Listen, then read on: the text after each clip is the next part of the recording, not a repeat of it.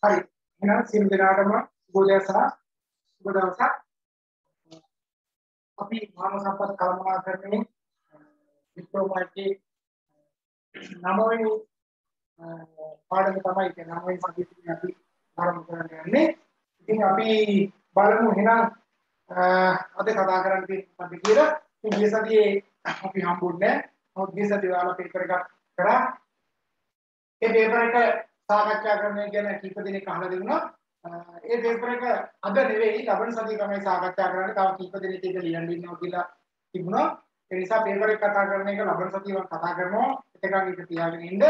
අද අපි මානව සම්පත් කළමනාකරණයේ කතා කරන්න යන්නේ කාර්යඵල ඇගීම ගැන. ඉතින් කාර්යඵල ඇගීම කියන එක විශේෂී පාඩමක් වෙනවා. හේතුව ඔයාලා ආයතනයකට ගිහිල්ලා රැකියාවක් කරන්න ගියාට පස්සේ ඒ රැකියාවේ උසස් වීම ලබා ගැනීමට යාමේදී අනිවාර්යයෙන්ම ඔයාගේ කාර්යඵල ඇගීමකට ලක් කරනවා. ඒ විතරක් නෙවෙයි උසස් වීම විතරක් නෙවෙයි රැකියාව තුළ ඔයා ස්ථිර කිරීම සඳහා කාර්යඵල ඇගීමකට ලක් කරනවා. ඊට පස්සේ තමයි ඔයා ස්ථිර කරනවා නැද්ද කියලා තීරණය කරන්නේ. ඒතර කාර්යඵල ඇගීම කියන එක සිදු කරන ආකාරය ගත්තට පස්සේ ආකාර කීපයක් තියෙනවා. අපිට ඒක වැදගත් වෙන්නේ කොහොමද කියන එක තමයි අපි කතා කරන්න ඕනේ. හරිද? එතකොට එහෙනම්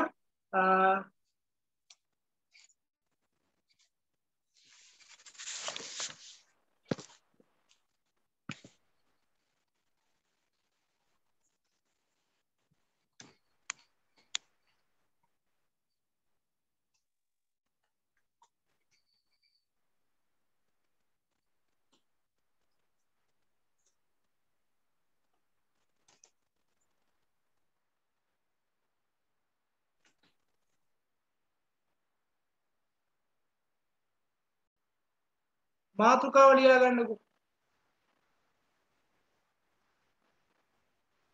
මාතෘකාව ලියා ගන්න. මාතෘකාව මොකද්ද? කාර්යඵල ඇගීම සහ කළමනාකරණ. appreciation and managing performance. හරිද?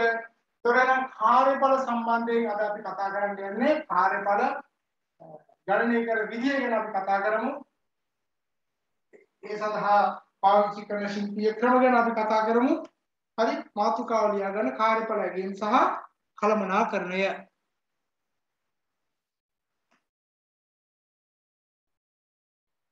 හරි. දැන් මම කියන්නකො මොකද්ද කාර්යඵල කියලා කියන්නේ?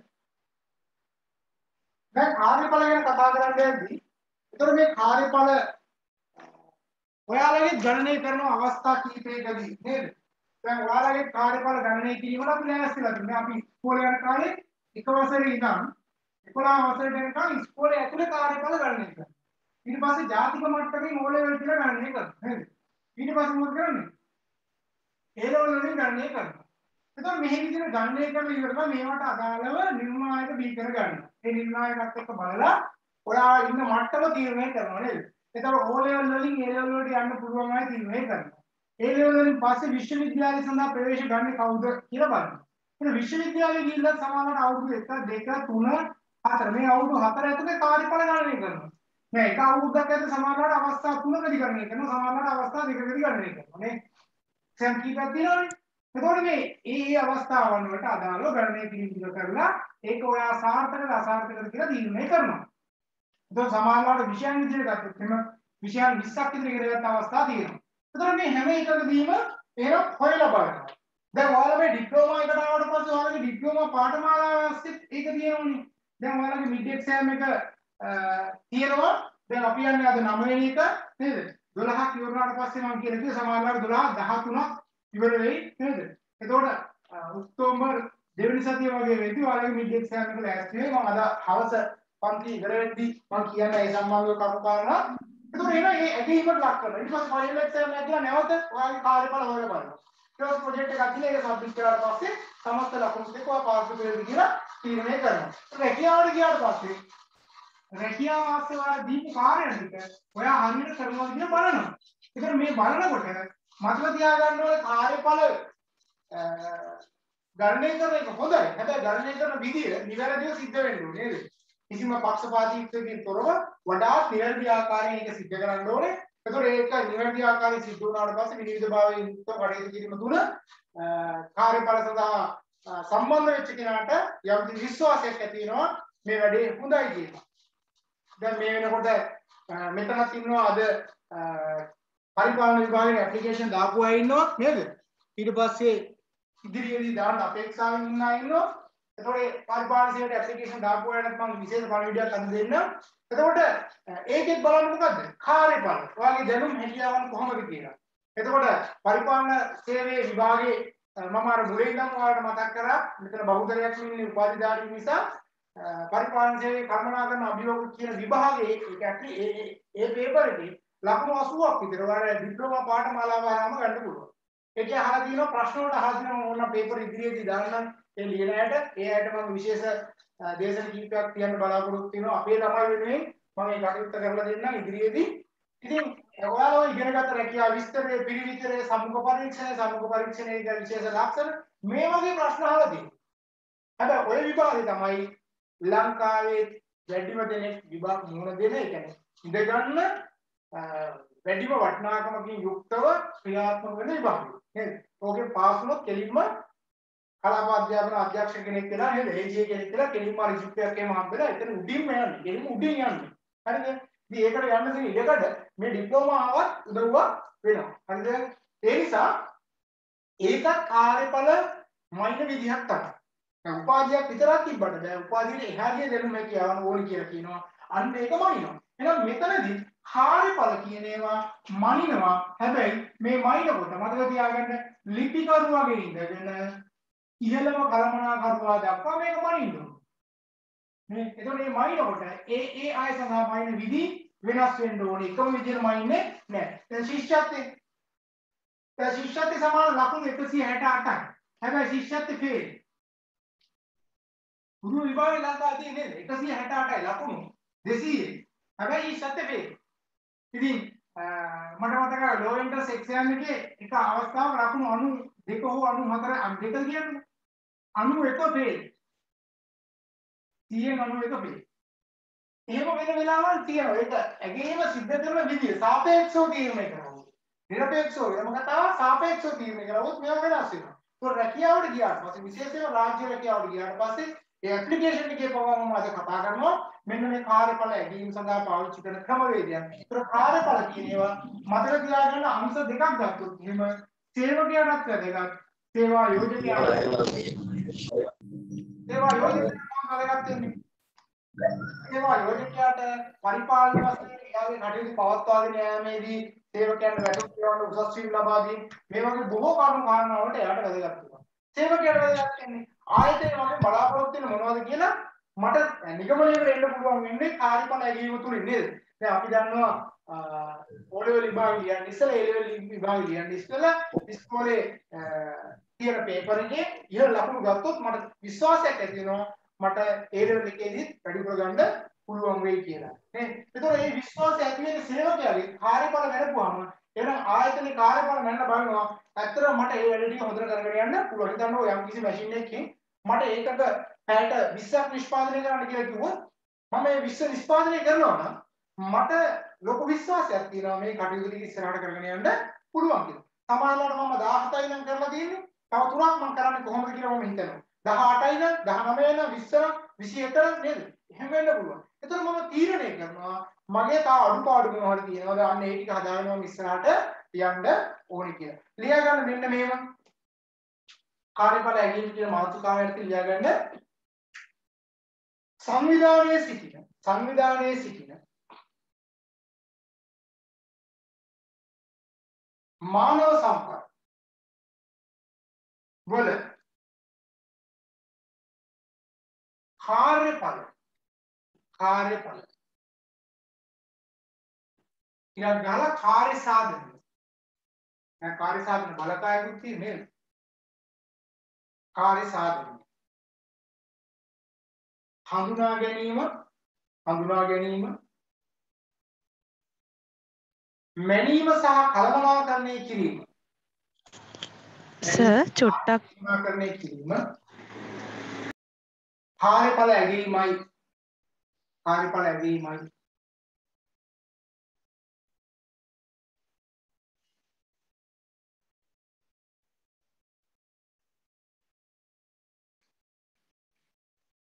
සංවිධානයකට සංවිධානයකට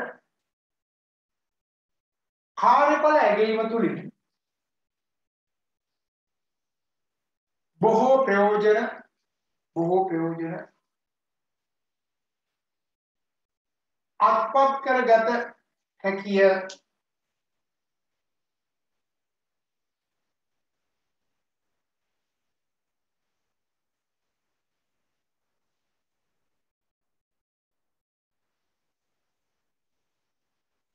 ඊගාට තරුවක් දාලා කියන කාර්යඵල ඇගීමේ පරමාර්ථ කාර්යඵල ඇගීමේ පරමාර්ථ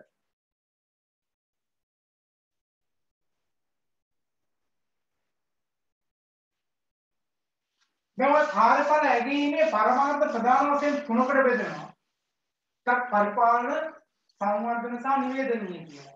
ඒතර මෙන්න මේ තුන යටතේ ප්‍රයෝජන රාශියක් සංවිධානය ළඟා කරගන්න පුළුවන්. පළවෙනි එක ලියා ගන්න. පරිපාලන පරමාර්ථ. පරිපාලන පරමාර්ථ.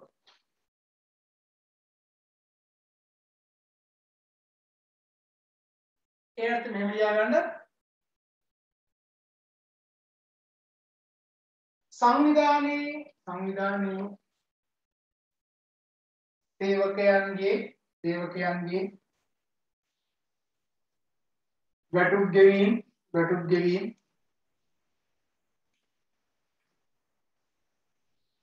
උසස් වීම් ලබා දීම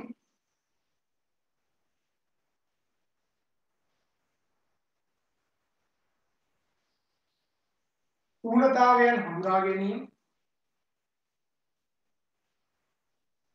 ඌනතාවයන් හඳුනා ගැනීම පුහුණු වැඩසටහන් හා සංවර්ධන වැඩසටහන් ක්‍රියාත්මක කිරීම පුහුණු වැඩසටහන් හා සංවර්ධන වැඩසටහන් ක්‍රියාත්මක කිරීම ආදී බොහෝ කාර්යයන් සඳහා ආදී බොහෝ කාර්යයන් සඳහා කාර්යඵල ඇගීම්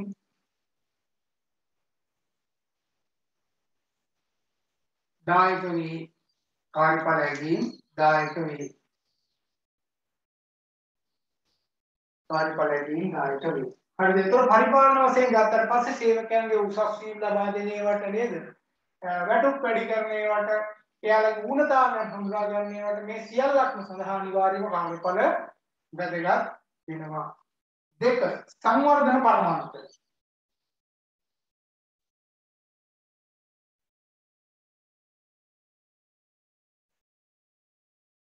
එතනදී විශේෂයෙන් පුහුණුව ගැන කතා කරලා තියෙන ඉඳලා ගියා ගන්න මෙහෙම සේවකයන්ගේ සේවකයන්ගේ දක්ෂතාවයන් හා හැකියාවන් දක්ෂතාවයන් හා හැකියාවන් හඳුනා ගැනීම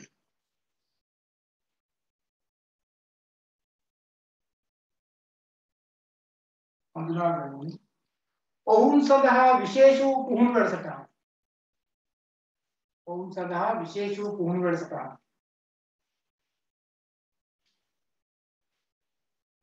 ක්‍රියාත්මක කිරීම සඳහා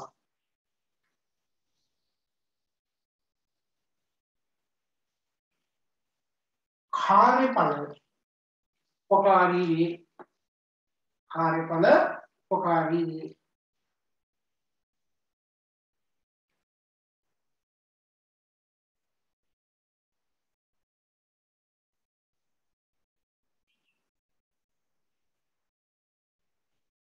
හරි. තුන්වෙනි එක නිවේදනීය පරමාර්ථ. නිවේදනීය පරමාර්ථ. නිවේදනීය පරමාර්ථ.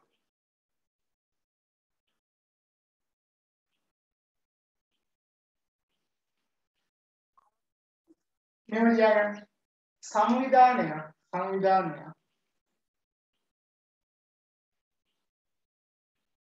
සේවකයෙකුගෙන් සේවකයෙකුගෙන් බලාපොරොත්තු වන්නේ සේවකයෙකුගෙන් බලාපොරොත්තු වන්නේ කුමක්ද යන්න? කුමක්ද යන්න? හඳුනා ගැනීමටත්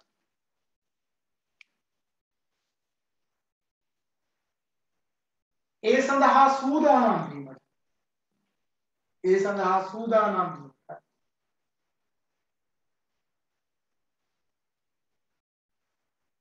කාර්යඵල ඇගීමේ තොරතුරු වැදගත් වේ කාර්යඵල ඇගීමේ තොරතුරු වැදගත් වේ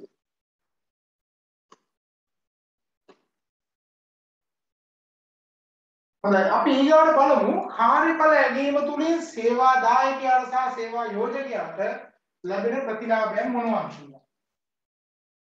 හරිද? එක පැත්තක සේවකයා ඉන්නවා වෙන වෙනම නියම අපි. සේවා යෝජකයා ඉන්නවා. හරිද? එතකොට සේවකයන්ට මේකේ තියෙන ප්‍රයෝජන ටික සහ ආයතනය ගත්තාම ආයතනයේ තියෙන ප්‍රයෝජන ටික තමයි අපි මේ කතා කරන්නේ යන්නේ. හරිද? ඉස්සෙල්ලා කරුවක් දාලා ලියාගන්න මෙහෙම කාර්යඵල ඇගීම තුලින් කාර්යඵල ඇගීම තුලින් සේවා යෝජකයන්ට සේවා යෝජකයන්ට ලැබෙන ප්‍රතිලාභ.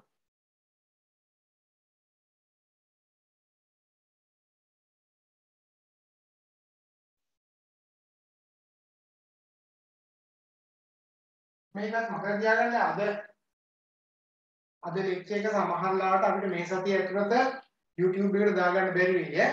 ඒ නිසා අර රැඳෙන අය අවසන් යනකම් රැඳෙන්න උත්සාහ කරන්න ක්ලාස් එක ඇතුලේ මොකද අර 6 වෙනිදා වෙනකම් වහලා තියෙන නිසා මේක අපිට ඒක එඩිට් කර ගැනීමේ ගැටලුවක් තියෙනවා. ඇත්තට ඒ නිසා උත්සාහ කරනවා සමහරලාට ඉන්න දාන්න බැරි වෙයි.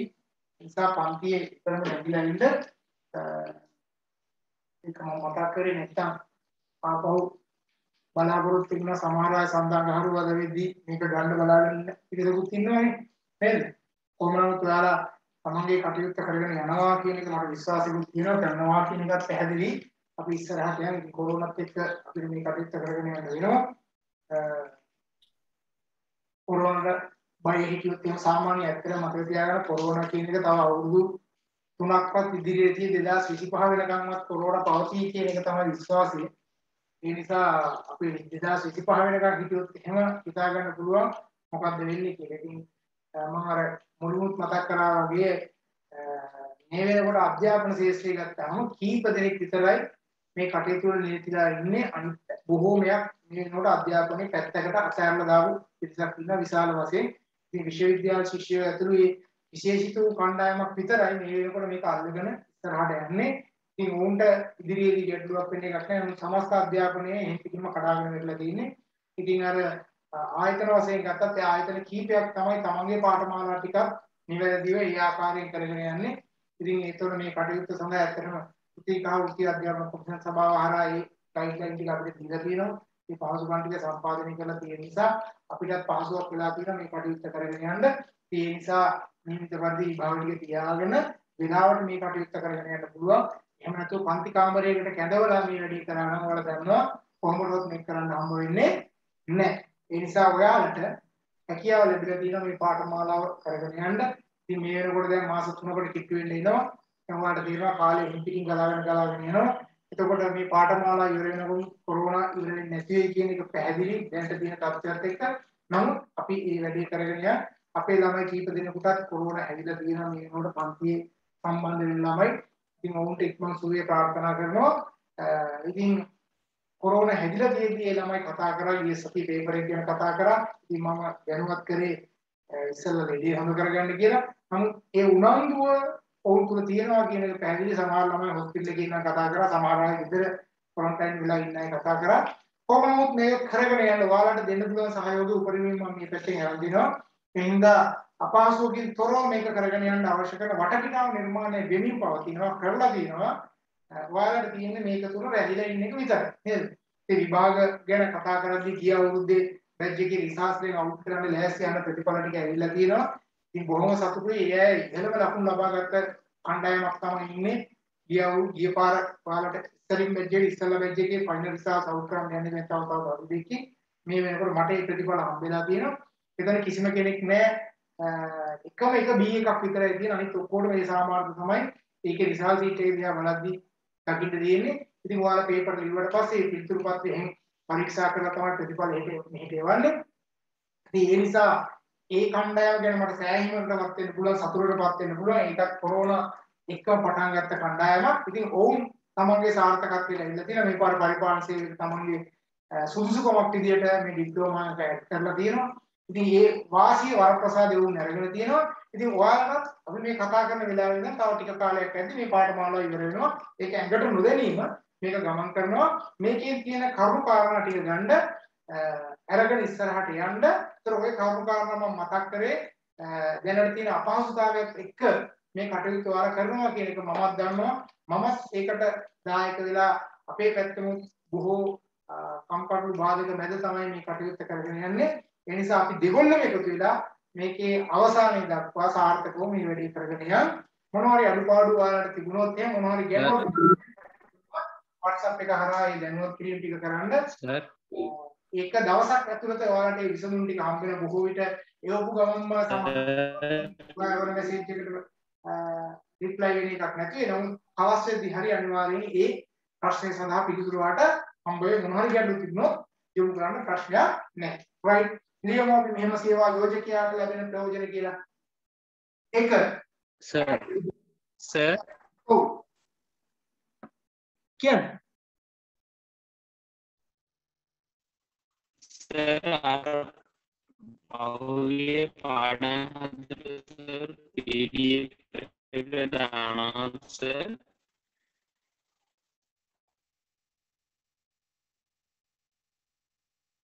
PDF එක දානවා සර් කියන්න ඔයා කියන එක ඇහෙන්නේ නැහැ මට.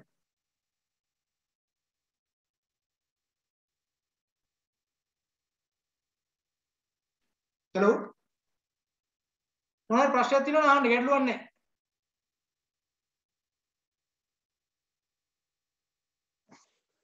පහුගිය පාඩම් ටිකේ PDF එක. පහුගිය පාඩම් ටිකේ පහුගිය පාඩම් PDF එක දාන්න. සර් පහුගිය පාඩම්? පහුගිය පාඩම් පහුගිය පාඩම් PDF එක PDF එක දැම්ම පුතා. PDF එක දැම්ම අද පාඩමට අදාළ PDF එකත් ඒකේ මම දාලා තියෙනවා.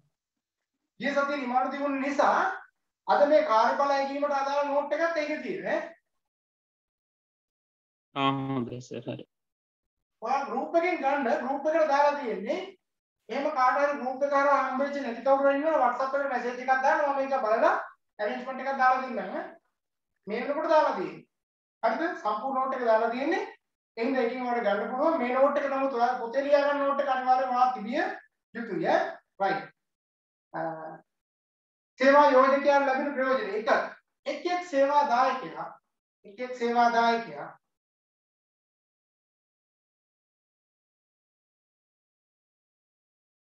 එක් එක් සේවා දායකයා සංවිධානයේ සමස්ත කාර්ය සාධනයේට සංවිධානයේ සමස්ත කාර්ය සාධනයේට ලබා දෙන්නා වූ දායකත්වය. ලබා දෙන්නා වූ දායකත්වය හඳුනා ගැනීමට හැකියවීම හඳුනා ගැනීමට හැකියවීම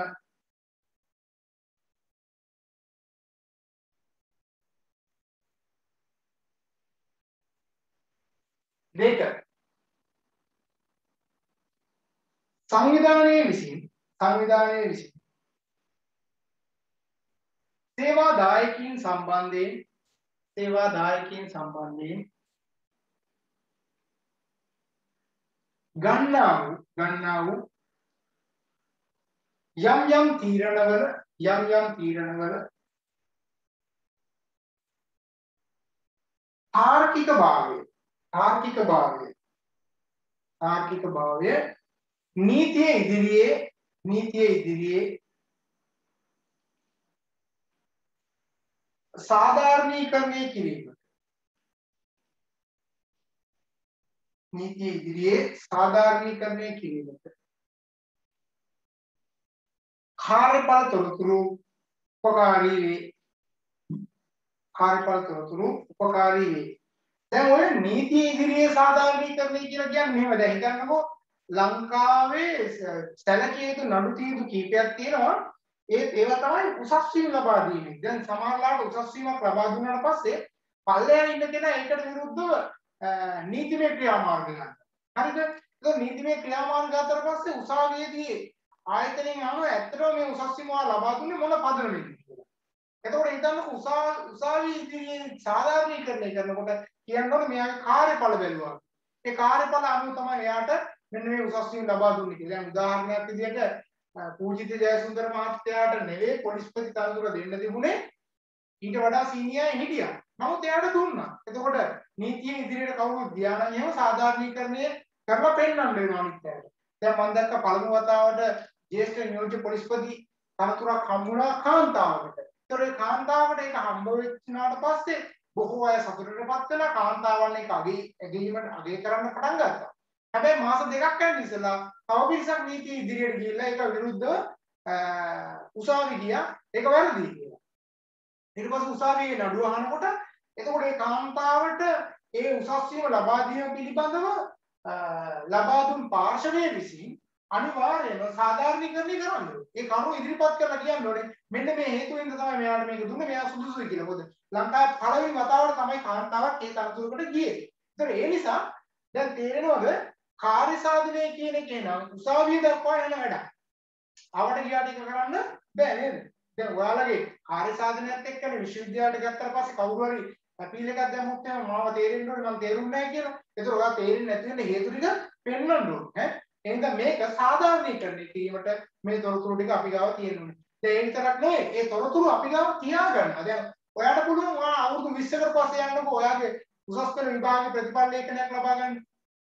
ඔයාට ගන්න පුළුවන් නේද? අනිවාර්යයෙන් ඔයාට ගන්න පුළුවන්. ඒ විතරක් නෙවෙයි දැන් ඔයාලට ඒ නිසාම කෘතිකා වෘත්ති අධ්‍යාපන කොමිෂන් සභාව ආර ඔයා මේ ඩිප්ලෝමා එක කරලා ඔයාට තව අවුරුදු 10කින් ඔයා රට යනවා කියලා හිතන්නකෝ. තව අවුරුදු 10කින් මම කියන්නේ. ඔයා රට යන්න උනොත් එහෙම ඔයා කෙලින්ම ගිහලා තෘතීකා වෘත්ති අධ්‍යාපන කොමිෂන් සභාවට ඔයාගේ සාතිකයේ පිටපතක් විතර ඉදිරිපත් කරන්න තියෙන්නේ ෆොටෝකොපියක් දුන්නා නම් ඇති. ඒ ෆොටෝකොපිය දුන්නාට පස්සේ යාලා සර්ටිෆයි කරලා ඔක්කොම කරලා වෙනම රජයේ සීල් එකක් ගහලා බාකෝඩ් එකක් ගහලා ඒක ෆොරින් මිනිස්ට්‍රිය සර්ටිෆයි කරලා දානවා. එතකොට හිතන්නකෝ එතකොට මේ ඔයා මේ මේ විභාගෙන් ගන්න ප්‍රතිඵලය තමයි එතන සනාථ කරන්නේ. ඔයා ඒකක් ගත්තොත් ඔයාට ඒක අවුරුදු 10කින් මේ 20කින් ගිහිල්ලා තෘතීකා වෘත්ති අධ්‍යාපන කොමිෂන් සභාවට දීපු ගමන් ඒක බලලා සර්ටිෆයි කරනවා. හරිද? ඒතර අවුරුදු 20ක් කිය ඒක තියෙන්න ඕන. දැන් ඒ හින්දා සමහරලාට ඔයාලට මේක යනකොට තේරෙන්නේ නැහනේ මේක ලොකුවට දැනෙන්නේ නැහැ නේ.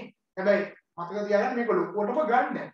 මේ පාඨමාලාව අසවල ලැබෙන දේ ලොකුවටම ගන්න. තව අවුරුදු 25 30ක් ගිහිල්ලා හරි ඔයා ගියොත් එහෙම එතනට ගියාට පස්සේ වෙනමම මම අර කිව්වේ සීල් වගේක් තියෙනවා. ඒ ටික ගාලා ඔක්කොම කරලා පොඩි මිනිස්සු දාලා සෙටපයි කරලා ඔක්කොම කරලා දෙනවා. එතකොට ඒ සඳහා ගාස්තුවක් ගන්න දැන් රුපියල් 800ක් වගේ ගන්නවා. ඒක සෙටිෆයි කරලා ඒ යන ડોකියුමන්ට් charges කියලා. ඒක රජයෙන් ගන්න එක. එතකොට මම මේ කියන්නේ එහෙනම් ඔය විදිහටම A level එකකටත් තියෙනවා O level එකකටත් තියෙනවා. මේ වගේ පාඨමාලා සුතිකා වෘත්ති අධ්‍යාපන කොමිෂන් සභාව ආරයන පාඨමාලා සඳහා මේ දේවල් එහෙමම තියෙනවා. ඒතර මේවා සනාථ කිරීම අනිවාර්යයෙන්ම සේවා යෝජකයාගේ පැත්තෙන් සිද්ධ වෙන්න ඕන දෙයක්. ඊගාව එක. සේවක ප්‍රතිලාභයන් උදෙසා සේවක ප්‍රතිලාභයන් උදෙසා තාර්කික පදනම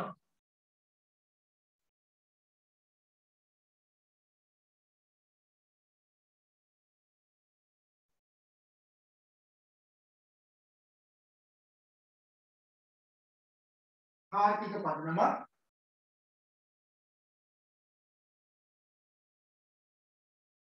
කාර්යඵල ඇගීමෙන් කාර්යඵල ඇගීමෙන් ලබා ගැනීමට හැකිවීම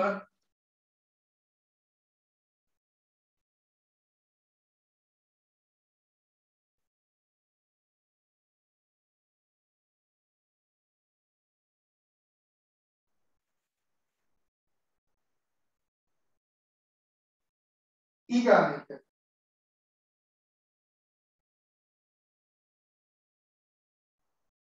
උපායශීලී අරමුණු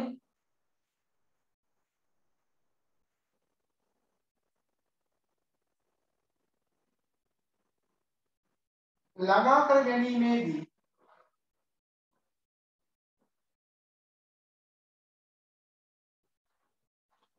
කාර්යඵල තොරතුරු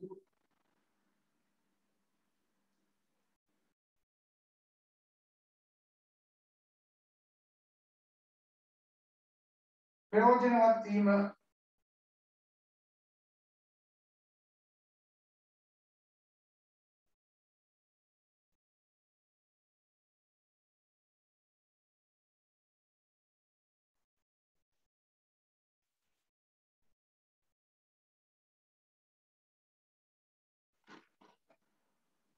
හරි.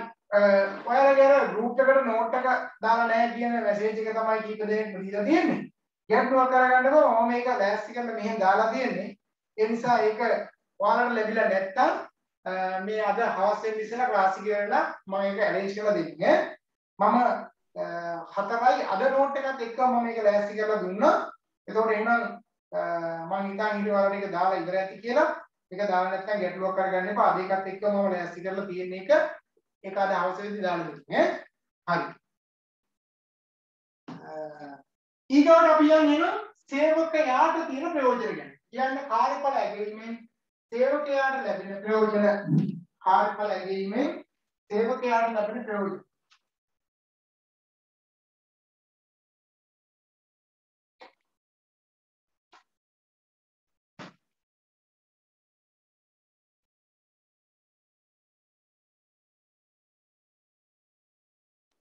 තාම මම ඔයාලට වෘත්තීය සමිතියෙන් කතා කරේ නෑ නේද? වෘත්තීය සමිතියෙන් ගැන කතා කරන්න තියෙන ඉස්සරහට මම මේ බැලුවා ඔයාලා වෘත්තීය සමිතිය වගේ එක ගොන්නට ඔක්කොම නෑ කියලා කියනවා නේද?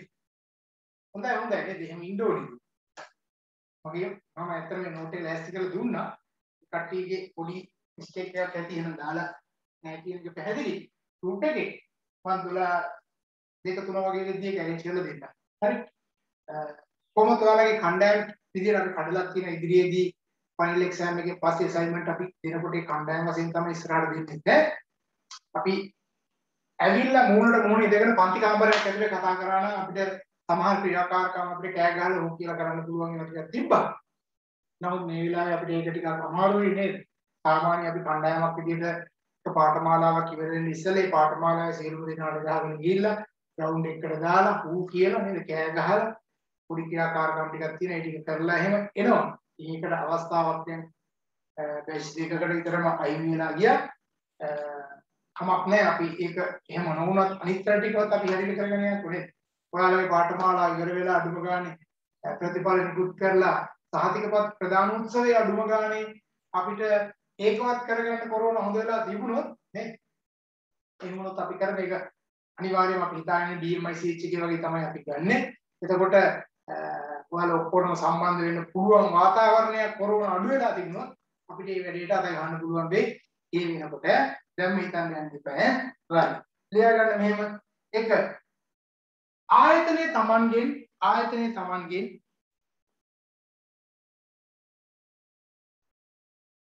බලාපොරොත්තු වන්නේ බලාපොරොත්තු වන්නේ කුමක්ද යන්න කුමක්ද යන්න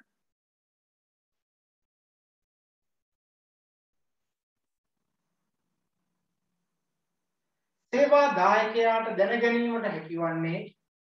සේවා දායකයාට දැන ගැනීමට හැකිවන්නේ.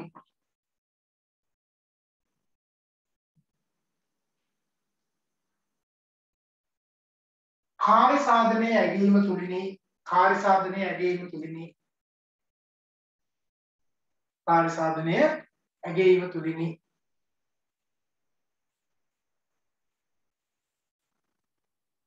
ඊගාවිත සේවා දායකයාට සේවා දායකයාට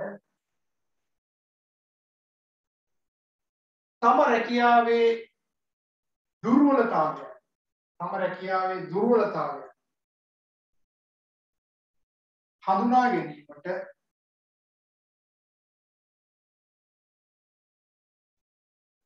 කාර්යඵල ඇදීම් තොරතුරු උපකාරී වේ.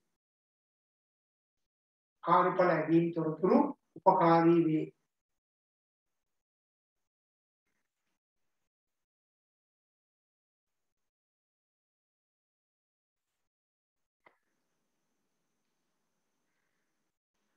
ඊගායක සේවක අභිප්‍රේරණයේ ඉහළ යාමට. සේවක අභිප්‍රේරණයේ ඉහළ යාම ඉවහල් වීම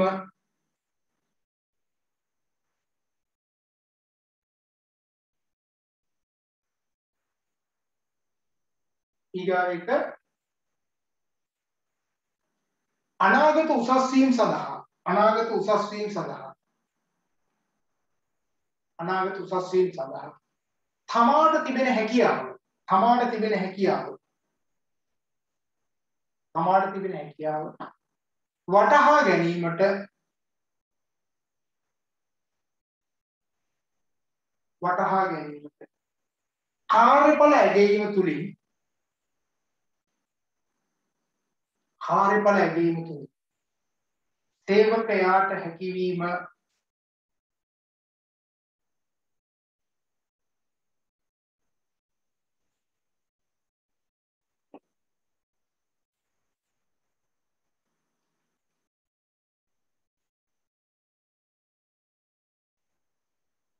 හරිද? එහෙනම් අනාගත උසස් වීම් හම්බ වෙනකොට ඒවා හම්බ වෙන්නේ කොහොමද කියලා එයාට කාර්යඵල ඇගීම තුලින් පුළුවන් වෙනවා විභාගයක්. අනිවාර්යයෙන්ම රජයේ අවුරුදු දෙකෙන් තුනෙන් එහෙම විභාග තියෙනවා. දැන් හිතන්නකෝ කොරෝනා කියලා මම අර කියන්නේ කොරෝනා නිසා නතර වෙන දෙයක් හඳුනා ගන්න බැරි තරම් නේද? දැන් මේ බලන්නකෝ රජයේ ගැසට් කරන රජයේ රැකියාව බලන්නකෝ. රජයේ රැකියා නතර කරන්නේ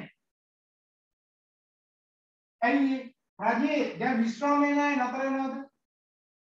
විශ්‍රාමයේ නැහැ. කොරෝනා හින්දා විශ්‍රාමයේ නතර වෙන්නේ නැහැ. යාලා විශ්‍රාම යනවා.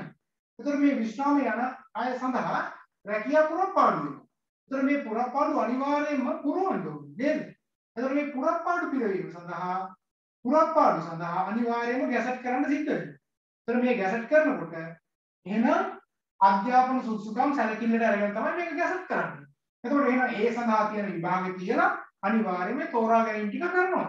එතකොට මේ ගැසට් කරනකොට මූලික සුසුකම් සපුරා තිබ්බොත් ඔයාලට අවස්ථාව හම්බ වෙනවා. ඔයත් පාඩුවේ පැත්තකට වෙලා හිටියොත් එහෙනම් ඔයාලට මේ අවස්ථාව අහිමි වෙලා නැහැ. දැන් SMS ගැසට් කරලා තියෙනවා. ක්‍රම සම්පාදනයේ ගැසට් කරලා තියෙනවා. බැංකු ගැසට් කරලා තියෙනවා. කර්මනාකරණ ගැසට් කරලා තියෙනවා. විශාල වශයෙන් රැකියා එනවා.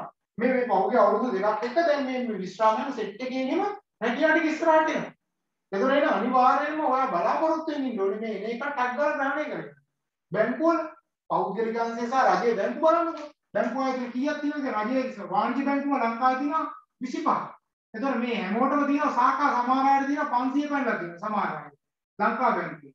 හිතන්නකෝ සාකා මේ එක එක බැංක එක මූල්‍ය ආයතනයක ඔක්කොම හිතන්නකෝ 100 ගාන තිබ්බා කියලා 100 ගාන තිබ්බට 2005 2005 ට වඩා වැඩි මම මේ කියන්නේ. ආසන්න වශයෙන් 3000ක් විතර තියෙනවා. එතකොට තව මූල්‍ය ආයතන අනිත් ආයතන ඒ වගේ රැකියාවත් එක්ක ගත්තොත් එහෙනම් 5000ක් කියලා හිතන්නකො සාකා විතර මේ 5000 ඇතුලේ අවුරුද්දකට රැකියා 10ක් આવොත් එහෙනම් 50000 අවුරුද්දකට 10ක් આવොත් මම පහක් આવොත් 25000ක් මේ රැකියා 25000 එනවා මේක නතර කරන්න බෑ. එතකොට මේකට අනිවාර්යයෙන්ම වෙනස් කියලා ඒ හින්දා කාටවත් කියන්න බෑ රැකියා නෑ කියලා. රැකියාව තියෙනවා. සුදුසුකම් ටිකයි සපුරා ගන්න. සුදුසුකම් සපුරාගෙන ඔයාලට මම අර ගිය සතියේ දුන්නේ එක පේපර් එකක්. ඒ පේපර් එක මම ලබන සතියේ කතා කරන දැන් අද කතා කරමු කියලා කීප දෙනෙක් කතා කරලා තිබ්බා. නමුත් අද නෙවෙයි. අර කීප කීප දෙනෙක් ලියන්නේ නිසා අපි ලබන සතියේ ඒක දාලා ලබන සතියේ මම ඒකට වෙලාවක් අරගෙන ඒක කතා කරන්න. ඒ විතරක් නෙවෙයි තව ඔය වගේ පේපර් ගැන මම කතා කරනවා.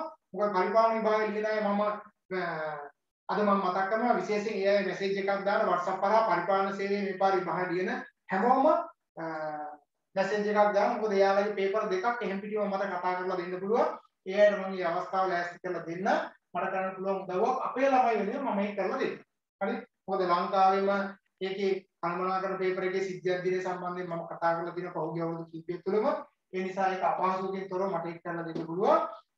ඒ නිසා ඒ අය ඉදිරියේදී මට දැනුවත් කිරීම ටික කරන්න මම මේ කිව්වේ එහෙනම් ඔයාලා හුරු වෙන්න ඕනේ මෙන්න මේ වගේ පේපර් ලියලා ඒවට ගන්න ලකුණු ටික දැන් කොහොමද යන්නේ ඒවා හදාගන්නේ කොහොමද? තමන් වර්ධනය වෙන්න ඕනේ පැති මොනවද? තමන්ගේ දුර්වලතා මොනවද කියන එක හඳුනා ගන්න ඕනේ. ඒකට සේවකයාටත් මේ විදිහටම තමන්ගේ අඩුපාඩු ටික හඳුනා ගන්න පුළුවන්. කාර්ය සාධනයේ මනිනකොට ඔයාලට මම කලිමුත් කිව්වා මෙහෙම 6 6න් පටන් ගත්තා නම් 6 එකට ගිහිල්ලා 5න් පටන් ගන්න 5 එකකින් 5 5න් පටන් ගන්න 5 එකට ගිහිල්ලා 4 4න් පටන් ගන්න 4 එකට ගිහිල්ලා 3 3න් පටන් ගන්න 3 එකට ගිහිල්ලා දෙකේ දෙකෙන් පටන් ගන්න දෙකේ එකට ගිහිල්ලා එකේ එකෙන් පටන් ගන්න එකට යන ෂඩ පිළිවෙලක් තියෙන්නේ. එතකොට පරිපාලන සේවය කියලා කියන මේ තුන්වෙනි පන්තියෙන් පටන් ගන්න. හරිද? එතකොට එහෙනම් මේව කඩින් විභාගෙ. අවුරුදු අවුරුදු අවුරුදු දෙකෙන් දෙකට ඒ කඩින් විභාග පාස් වුණොත් විතරයි එයා තුනේ දෙකේ ඉඳන් තුනේ දෙකට එකට යන්නේ. දෙකේ එකට යන්නේ. ඒ කඩින් විභාග වේලුවොත් යන්න බෑ. ඒක කඩින් විභාග කියලා කියන්නේ මේ කාර්ය සාධන විභාග. එහෙනම් මේව අනිවාර්යෙන් ඉස්සරහට එන්න. දැන් ඔයාලා දැකලා තියෙන සමහර ගුරුවරු දෙකේ පන්තිර උගන්වන ගුරුවරයා සමහර අවුරුදු 25ක් උගන්වනවා දෙකේ පන්ති විතර. නමුත් තව සමහරක් ඉන්නවා දෙකේ පන්තිල උගන්වපු කෙනා 8 9ට උගන්වලා 11 පන්තිලත් උගන්වලා ප්‍රින්සිපල් කෙනෙක් දක්වා ඉඳලා තියෙනවා. ඇයි? කඩේ විභාග පාස් වෙලා. ඉතින් එහෙම යන්න පුළුවන් කොහොමද? එහෙම යන්නේ නැත්නම් එතනම ඉන්න පුළුවන්. එතකොට වැටු වර්ධක වැටු වැටු වර්ධනය වෙන්නේ උසස් වීම හම් වෙන්නේ එතනම තමයි. කරන්න දෙයක් නැහැ. එහෙනම් මේ විභාග අනිවාර්යයි මේවට ලෑස්ති වෙන්න ඕනේ. සේවකයාට ඕකේ තමන්ගේ අඩුපාඩු ටික හඳුනා ගන්න පුළුවන්. ලියාගන්න මාතෘකාව කාර්යඵල ඇගීමේ ක්‍රියාවලිය. කාර්යඵල ඇගීමේ ක්‍රියාවලිය. කාර්යඵල ඇගීමේ ක්‍රියාවලිය.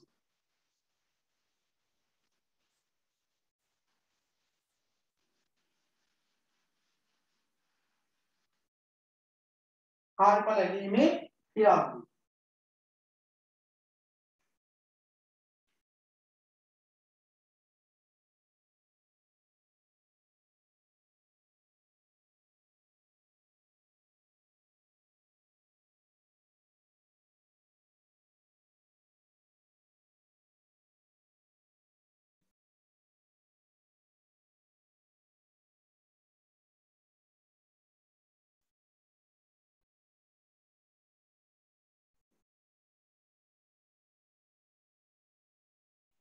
මේ කාර්යඵල ඇගීමේ ක්‍රියාවලිය ප්‍රධාන අධ්‍යයන තුනකින් කතා කරන්න පුළුවන් මේක ඕනේ නම් අධ්‍යයන 6 7ක් ගැන කතා කරලා නමුත් ප්‍රධාන සංක්ෂිප්ත කරලා අපි ගත්තොත් එහෙම කාර්යඵල ඇගීමේ මානයන් හඳුනා ගැනීම කාර්යඵල ඇගීම කාර්යඵල කළමනාකරණය. එතකොට මෙන්න මේ තුන ගැන තමයි අපි ඉස්සරහට කතා කරන්න තියෙන්නේ.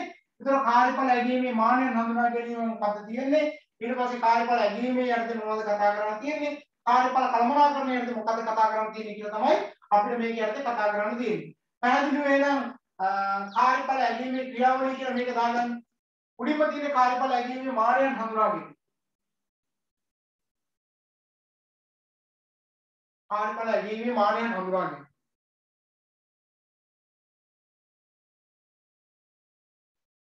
ඊළඟ කාර්යඵල ඇගීම.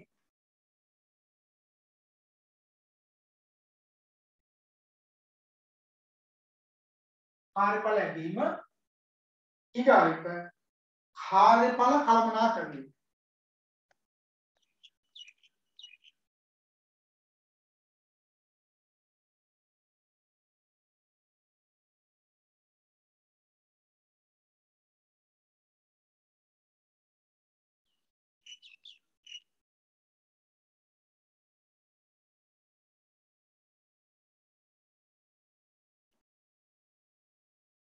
හරිද?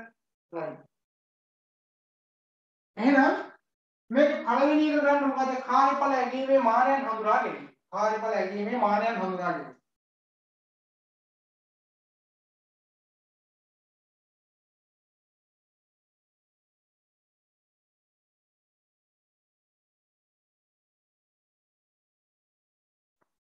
හරි. කාර්යඵල ඇගීමේ මානයන් හඳුනා ගැනීම කියන එක යටතේ අපිට ඉස්සෙල්ලාම අපි කරන්නේ නිර්ණායක ටික හඳුනා ගන්න. නිර්ණායක ටික. එතකොට මේකේ නිර්ණායක ගැන කතා කරනකොට ප්‍රධාන වශයෙන් නිර්ණායක දෙකක් අපිට තියාගන්න. දෙකක්. වාස්තවික නිර්ණායක අපි කියන්නේ වාස්තවික ඊගාන ආත්මගත කියලා. එතකොට වාස්තවික නිර්ණායක කියන්නේ මොකද්ද? ආත්මගත නිර්ණායක කියන්නේ මොකද්ද කියන එක අපි කතා කරන්න ඕනේ ලියා ගන්න මෙන්න මෙහෙම. කාර්යඵල ඇගීමේ මානයන්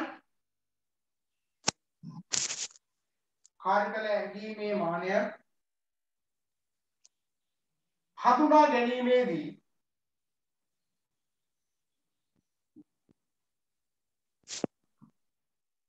හඳුනා ගැනීමේදී ඒ යටතේ ඒ යටතේ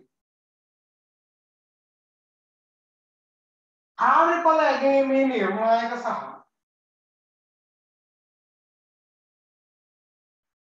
කාර්යඵල ඇගීමේ නිර්ණායක සහ එක් එක් නිර්ණායකයට අදාළ ප්‍රමිත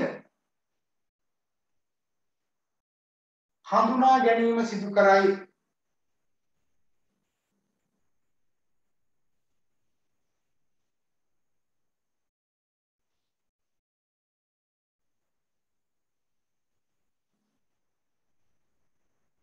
ඒ දෙකෙන් මෙහෙම ලියා ගන්න කාර්යඵල ඇගීම සඳහා කාර්යඵල ඇගීම සඳහා යොදා ගන්නා සාධක යොදා ගන්නා සාධක නිර්ණායක ලෙස හඳුනා ගන්නා අතර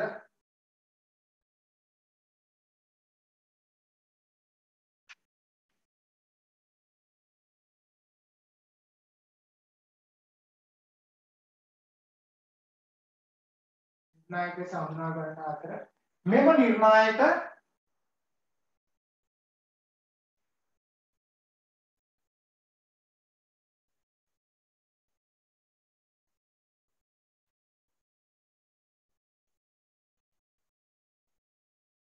එම නිර්ණායක ප්‍රධාන වශයෙන් කොටස් දෙකකට බෙදා දක්වයි.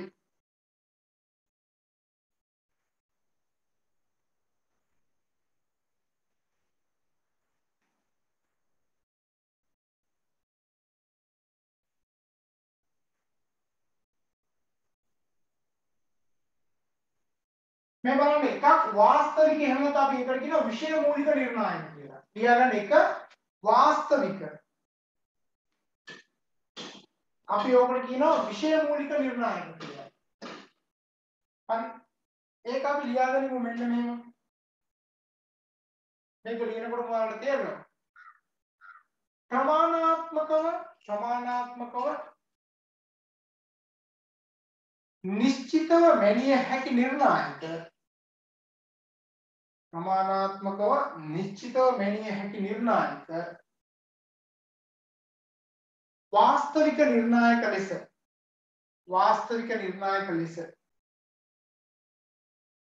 හඳුනා ගනු ලැබේ හඳුනා ගනු ලැබේ. උදාහරණයක් ලියන්න. එක්තරා ආයතනයක දිනක් තුල නිෂ්පාදනය කරන ලද ඒකක ප්‍රමාණය 12500කි.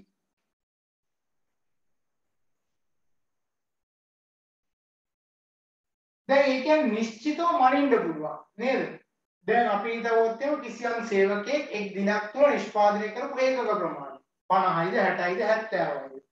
ඒ වගේම එක්තරා අලවිකරුවෙක් දවසකට විකුණපු අලවි එකක ප්‍රමාණය. ඒක මාසයකට වෙන්න පුළුවන් නේද? නිශ්චිතව මනින්න පුළුවන්. අපි ඒවට කියන මොකද? විෂය මූලික එහෙම නැත්නම් වාස්තවික නිර්ණායක කියලා. ඊගාව දෙවෙනි එක ලියා ගන්න ආත්මගත. ආත්මගත. ඒකටම අපි කියන පුද්ගල නිශ්චිත නිර්ණායක කියලා. පුද්ගල නිශ්චිත කියන්නේ ඒකට ඉරක් ගහලා ආත්මගත. ඒකට ඉරක් ගහලා පුද්ගල නිශ්චිත. නිර්ණායක.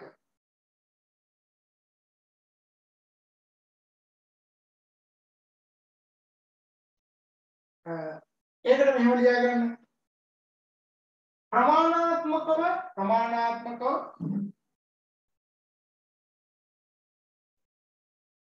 නිශ්චිතව මැනිය නොහැකි නිශ්චිතව මැනිය නොහැකි නිර්ණායක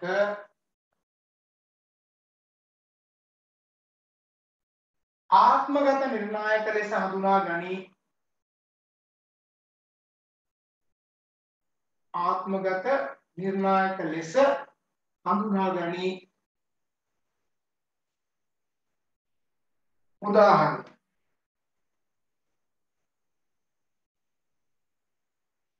සේවා දායකයෙකුගේ අවංකභාවය.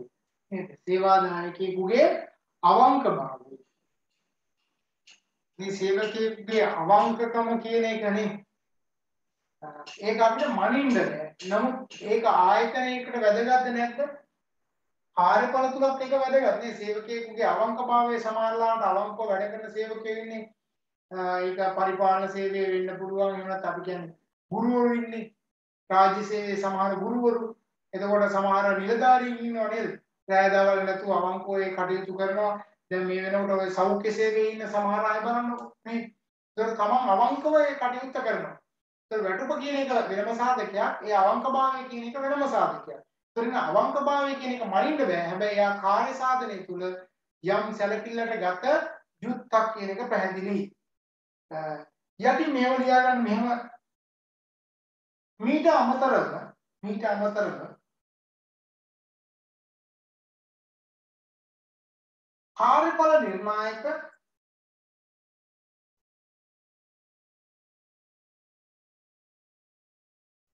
කාර්යඵල නිර්ණායක පහත පරිදිද පහත පරිදිද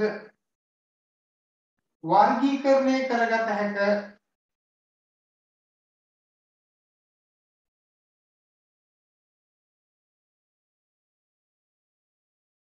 දැන් ඒකෙදි පෙන්වනවා ගති ලක්ෂණ චර්යාවන් සහ ප්‍රතිඵලය කියලා. හරි? නිකන් සාමාන්‍ය තරු දානවා නම් තරු දානවා නැත්නම් රෝමි ලක්කම් දානවා නම් රෝමි ලක්කම් දානවා. එක ගති ලක්ෂණ. ගති ලක්ෂණ. ඔය ගති ලක්ෂණ න්‍යායක් ගැන අපි කතා කරනවා නායකත්වය. නේද? ගති ලක්ෂණ න්‍යාය ගැන අපි නායකත්වය කතා කරනවා.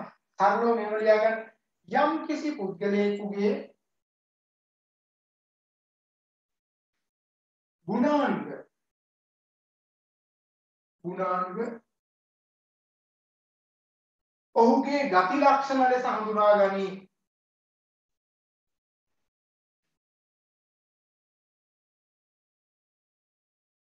අවංක බව අවංක බව කැපවීම උනන්දුව ආදී උනන්දුව ආදී.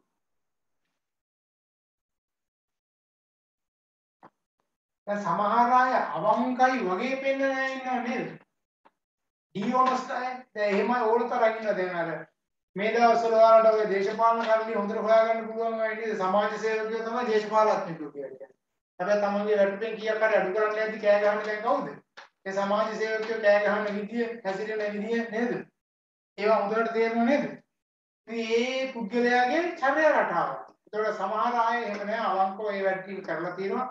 කැපවීම වගේම උනන්දුව වගේම අවංකභාවය කියන එක ඒ පුද්ගලයාගේ ගති ලක්ෂණ දැන් ඔයාලටත් මේ හැකියාවන් තියෙනවා නම් ඔයාලා හැසිරෙන විදිය ඔයාලා තව කෙනෙකුට උපකාර කරන්නේ කොහොමද වෙන්නේ සමහරවල් නෝට් එකක් වෙන්න පුළුවන් ඒ නෝට් එක ෂෙයා කරලා අපි අර කැම්පස් එකේ කියන කුප්පියක් දාලා හරි වටේ ඉන්නවම ගොඩ දානවා කියලා. ඒ අතර සමහරව මොකද කරන්නේ? පාස් වෙයි කියන බයට නෝට් එක හොරකම් කරනවා නේ. නෝට් එක හොරකම් කරනවා මට මතකයි අපිත් එහෙම සිද්ධි කීපයක් සිද්ධ වුණා.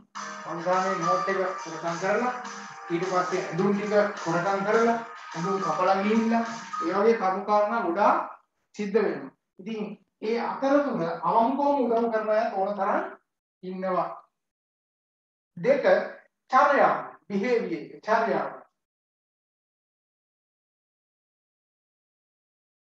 දැන් චර්යාව ගැන කතා කරද්දී පුද්ගල චර්යාව සංවිධාන චර්යාව ගැන ඔයාලට අවසන් පාඩම් වලදී අපි කතා කරනවා වැඩි වශයෙන් ඈ? කියන්නේ යම් කිසි පුද්ගලයෙකුගේ ක්‍රියාකලාපය ක්‍රියාකලාපය එනම් හැසිරෙන ආකාරය චර්යාව ලෙස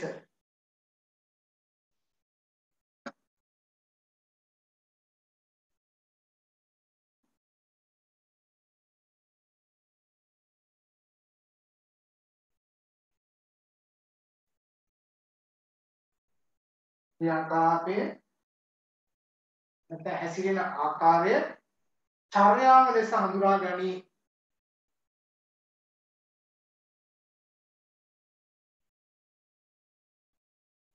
ඒ තුල සේවය සඳහා නියමිත වේලාවට පැමිණීම සේවය සඳහා නියමිත වේලාවට පැමිණීම පිටව යාම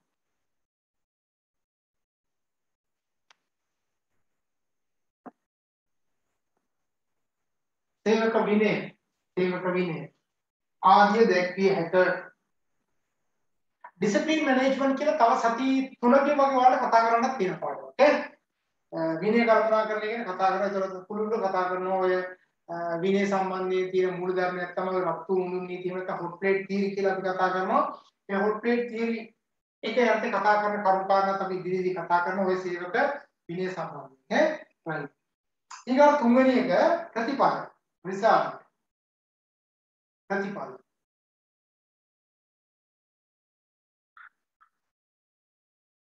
මොකද්ද ප්‍රතිඵලය කියලා කියන්නේ? යම් කිසි කාර්යයක අවසාන ප්‍රතිඵලය තමයි මොකද්ද? ඒ කියන්නේ යම් කිසි කාර්යයක අවසානය තමයි අපි කියන්නේ ප්‍රතිඵලය කියලා නේ. දැන් කවුරු හරි මහන්සියලා මහන්සියලා අවසාන විභාගයේ සමත් වුණා කියන එකේ ප්‍රතිඵලය එනවා නේ. විශ්වවිද්‍යාලයේ නම් අවසාන වසරේ විභාගයේ පාස් කියලා ආවට පස්සේ ලොකු සතුටක් දැනෙනවා ඒක හිතා ගන්න බෑ. එදා දවසේ කන්න බොන්නත් හිතෙන්නේ එහෙම තත්ත්වයක් උදා වෙනවා. ඈ තාම එහෙම ගත්ත නැති අය ඉන්නවා නම් බලාගෙන ඉන්න.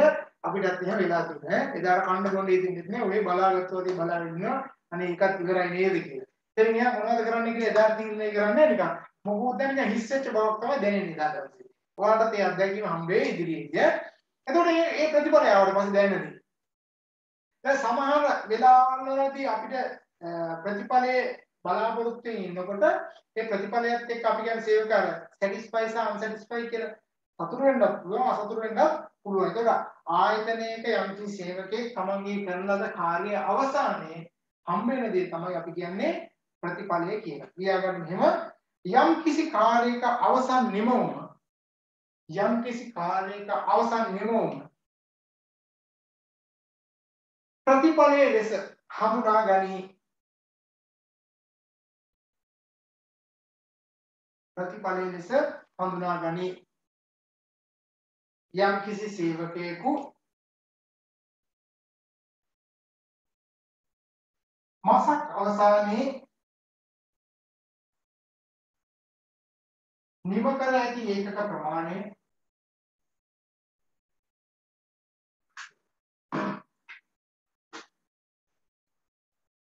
ආදී. දාහක ගොඩක් කියන ප්‍රෝණ එක ආදී.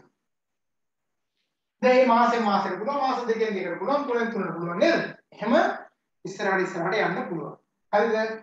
right. එහෙනම් නිර්ණායක පැහැදිලි වුණා. නිර්ණායකයන්ට ඔන්න කතා කරා වාස්තවික නිර්ණායක කතා කරා ආත්මගත නිර්ණායක කතා කරා. එහෙම නැත්නම් ගති ලක්ෂණ චර්යාව සහ ප්‍රතිඵල කියලා අපිට හඳුනා ගන්න පුළුවන් කියලා අපි කිව්වා. ඊට පස්සේ අපිට වැදගත් වෙන්නේ මොකද්ද? නිර්ණායක සහ ප්‍රමිත ස්ථාපිත කියන්නේ. මොකද්ද ප්‍රමිත? ලියන ස්ටෑන්ඩඩ් ප්‍රමිත. සමද්දා ලියන ප්‍රමිත.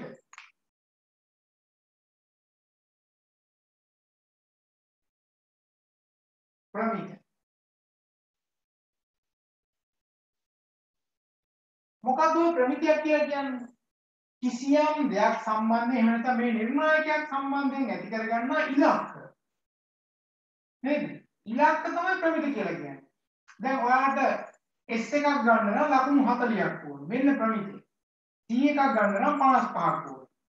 B එකක් ගන්න නම් 65ක් ඕන. A එකක් ගන්න නම් 75ක් ඕන. කොහොමද තියෙන්නේ? දැන් ඔයාලගේ ප්‍රමිතිය ඕක. දැන් මීට එහාගේ වෘත්තීය විභාගය කියලා ඒ වගේ සමානලාවට S එකක් ගන්න නම් ලකුණු 51ක් ඕන. C එකක් ගන්න නම් ලකුණු 65ක් ඕන. B එකක් ගන්න නම් ලකුණු 75ක් ඕන. A එකක් ගන්න 85ක් ඕන. එහෙම ස්ථාපිත වෙච්ච ඒවා තියෙනවා. එතකොට මේ එකිනෙකාගේ ප්‍රමිතියන් ස්ථාපිත වීම එකිනෙකට වෙනස් නේද? එතකොට එහෙනම් මේක තමයි අපි කියන ස්ටෑන්ඩඩ් එක ඉලක්කය. එතකොට දැන් ඔයා බලාපොරොත්තු වෙන ඉලක්කය කෝකද නේ? එතකොට ඒ ඉලක්කයට යන්න නම් ඕන අපිට කලින්ම කියන මෙන්න මෙච්චරක් ගන්න කියලා. ඔයාලා ෆස්ට් ක්ලාස් එකක් ඕනේ නම් ඔයා ඒකට යන්න ඕනේ. සෙකන්ඩ් අප එකක් නම් කොහොමද ලෝ එකක් නම් කොහොමද නේද? එහෙම නැත්නම් පෙරේත පාදයෙන් ගොඩ යනවා නම් කොහොමද කියලා ඒකට ආවලා තියෙනවා. ඒතර අපි දන්නවා මේ ස්ටෑන්ඩඩ් එකත් එක තමයි අපි හැසිරෙන්න ඕනේ කියලා. හරිද? එහෙනම් මෙන්න මේ ඉලක්ක අපි කියන මොනවා කියලාද? ප්‍රමිත කියලා. ලියාගන්න මෙහෙම එක් එක් නිර්ණායකයට අදාළව එක් එක් නිර්ණායකයට අදාළව ඇති කරගන්නා වූ ඉලක්ක ඇති කරගන්නා වූ ඉලක්ක.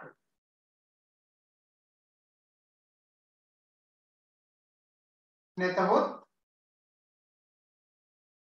සාර්ථකත්වයේ ප්‍රමාණයන් ප්‍රමිත ලෙස හඳුනා ගනී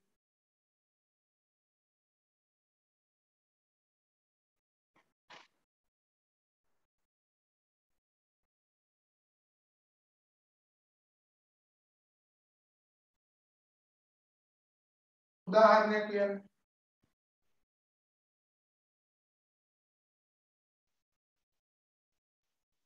නිෂ්පාදන දෙපාර්තමේන්තුවක නිෂ්පාදන දෙපාර්තමේන්තුවක දෛනිකව නිපදවන භාණ්ඩ ඒකක සම්බන්ධයෙන්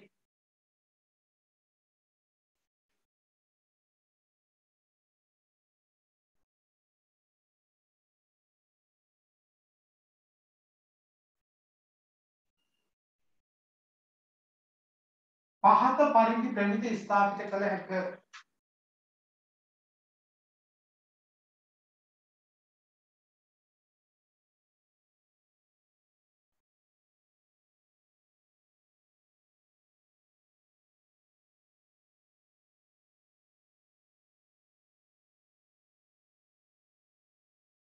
මේ බලන්න 0.20යි අතර ඒකක නිෂ්පාදනය කරලා තියෙනවා ඉතා දුර්වලයි.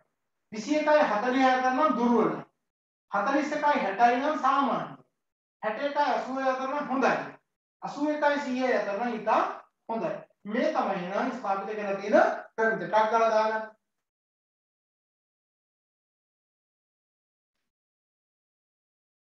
බිඳුවයි 20යි ඉතා දුර්වලයි 21යි 40යි දුර්වලයි නේද?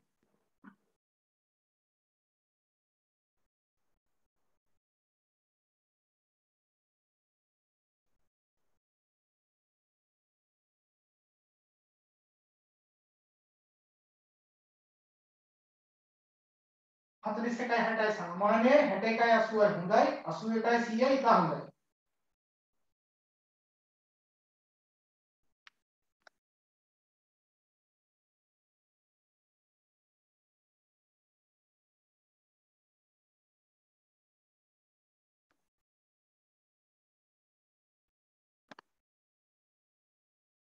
ඔයාලා හැම වෙලාවෙම උත්සාහ කරන්න විශේෂයෙන් ඉගෙන ගන්නකොට ඉහළම ප්‍රතිඵලයක් ළඟා කර ගැනීම සඳහා ක්‍රියාත්මක වෙනවා. මොකද තරඟකාරීත්වය වැඩි වුණොත් එහෙම බලන්නේ අපි මොකක්ද? ඊගාවට මෙන්න මේ ඔයා ගන්න ලකුණු දිහා බලන්න. ඔයාලගේ අම්මලා තාත්තලාගෙන් ඇහුවොත් එහෙම SSC HSC කියලා කිව්වේ ඒ කාලේ. O level A level pass වෙලා තිබ්බනම් යටි කියන මට්ටම තිබුණේ නේ. නමුත් ඊට පස්සේ ක්‍රමක්‍රමයෙන් මොකද වෙන්නේ? ගණිතය සඳහා C එකක්වත් තියෙනවා. දැන් බැංකු වලට මොකද C එකක්වත් තියෙනවා. ඉංග්‍රීසි වලටත් C එකක්වත් තියෙනවා. ඉස්සර නිකන් බැලුවේ නෑ S එකක් තිබ්බත් ඇති. C එකක්වත්. ඊට පස්සේ සමහර අය B එකක්වත් ඕන කියලා. දැන් පෞද්ගලික අංශයට A එකක් ඉන්නවා. හරි. එතකොට මේ ඩිප්ලෝමා එකේ දැනට තරඟකාරීත්වයක් නෑ ඩිප්ලෝමා එකක් තිබීම ප්‍රමාණවත්. ඉදිරියට යන්න යන මොකක් වෙයිද මේක? අඩුම ගානේ B එකක්වත් ඉන්නේ ඒ නිසා තමයි මම කියන්නේ කිසිම කෙනෙක් B එකකට මෙහා ප්‍රතිඵලයක් කිසිසේත් ලබා නොගත යුතුයි. ඒක මම කියන්නේ ඒකක්ම ලබා ගත යුතුයි කියන තැනම ඉන්නේ. ඒ නිසා පරිමේම කටයුතු කරන්න. මේක විතරක් නෙවෙයි කොයි දේ කරන්නද. ඒක සරලව ගන්න එපා මොන විභාගය කරවුවත්. පරිමේම ළඟා කරගන්න දේ. ඔයාලා දන්නවා කැම්පස් එකේ උපාධියක් ඉවර කිරීම කියන එක එකක් ෆස්ට් ක්ලාස් එකක් සෙකන්ඩ් අප් එකක් වගේ එකක් කියන්නේ වෙනම එකක්. දැන් සමහර රජයේ ආයතන වලට ගැසට් කරද්දිම දාලා තියෙනවා ක්ලාස් එකක් තියෙනවා නම් ඇප්ලයි කරන්න කියලා. උපාධියට නෙමෙයි දෙන්නේ. ක්ලාස් එකක් ඕන. නැත්තම් දෙන්නේ නැහැ. හරිද? ඒ නිසා මෙන්න මේ ස්ටෑන්ඩඩ් පිළිවෙලකට මේ ප්‍රමිත පිළිවෙලකට ඒ සඳහා වෙනමම ආයතන විසින් නිර්ණායක ලෑස්ති කරලා දීලා දැන් ඔයාලා දන්නවා ලංකාවේ ජනාධිපතිවරයා තෝරනකොට එතකොට දෙන්නෙක් තරග කරා නම් මේ දෙන්නගෙන් සමහරවිට තුන් දෙනෙක් හතර දෙනෙක් ඉන්නවා ලංකාවේ ගියපාර 26 දුකෝද කියලා. ඒ දිනන කෙනා අනිවාර්යයෙන්ම 150ට වඩා දශම 0.01ක් හරි අරගෙන තියෙනවා. බැරි වෙලාවත් සමස්ත ඡන්ද ප්‍රති ප්‍රතිශතේ 149ක් අරන් එයා එක වුණා කියලා වැඩක් නැහැ. මේ ස්ටෑන්ඩඩ් එකක් තියෙනවා ඒකනේ. ඒ හින්දා අනිවාර්යෙන් 50ට වඩා ගන්න. ඒතකොට ඒ ප්‍රමිතියට ගියේ නැත්තම් වැඩක් නැහැ. එයා ෆේල්. හරිද? තව පරිපාලන සේවෙත් එහෙමයි. විෂයන් හතරක් තියෙනවා. ඒ විෂයන් හතරේ හතර ප්‍රශ්නපත්‍ර ප්‍රමාණය එහෙම වෙන්න පුළුවන් අධ්‍යාපන පරිපාලනය වෙනම තියෙනවනේ දැන් හිතන්න හතරක් කියලා 1යි 2යි 3යි 4යි මේ හැම එකකම අවම ලකුණු 40 තියෙනවා හරිද? දැන් කාට හරි මේකට ලකුණු 85ක් තියෙනවා. මේකට 90ක් තියෙනවා. මේකට 79ක් තියෙනවා. මේකට 39 මොකද වෙන්නේ? සමස්ත ප්‍රතිඵලය මෙයා පේ සමානව රෑන්ක් එක ගත්තට පස්සේ මෙයා පළවෙනි තරේ ඉන්නව ඉන්නත් පුළුවන්.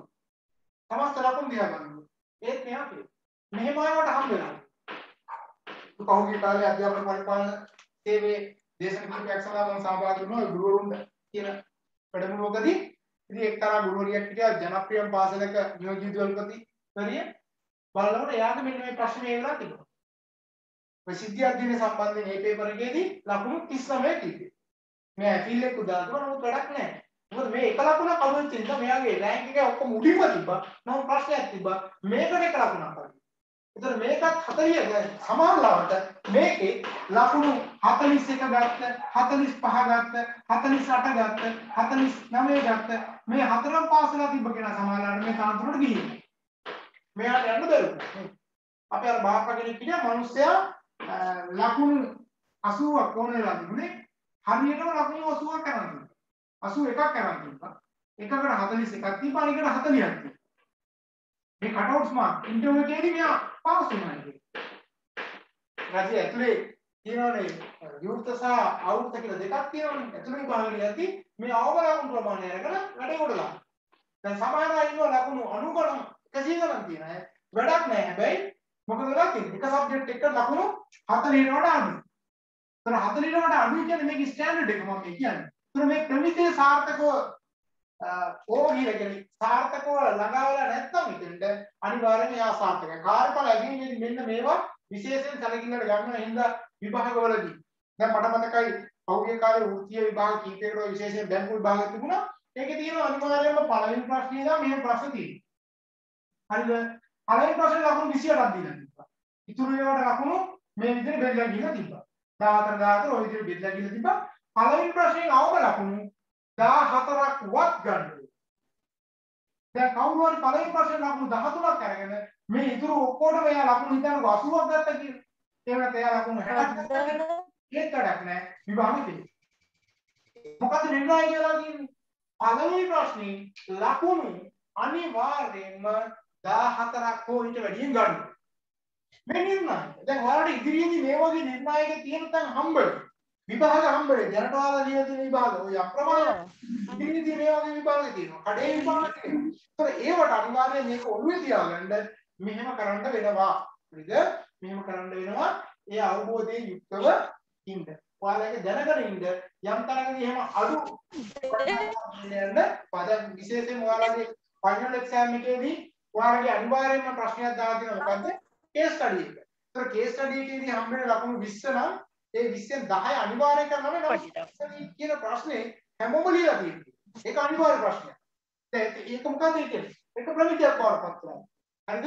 එහෙනම් මේ විදිහට ප්‍රමිතිය ස්ථාපිත කරද්දී ආයතන විවිධ මට්ටම් කරනවා ඒවා දිහා බලලා අපි කටයුතු කරන්න ඕනේ. එහෙනම් මම කාර්යඵල ඇගීමේ මානය හඳුනා ගැනීම උතන ඉවර කරනවා. ඊගොඩ මම එනවා මොකද්ද දෙක කාර්යඵල ඇගීම. ගන්න දෙක කාර්යඵල ඇගීම. කාර්යඵල ඇගීම. කාර්යඵල ඇගීම.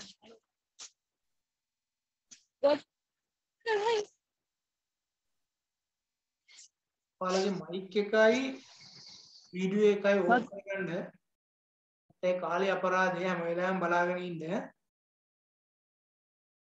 විනාඩි 5න් පාට හරි බලන්න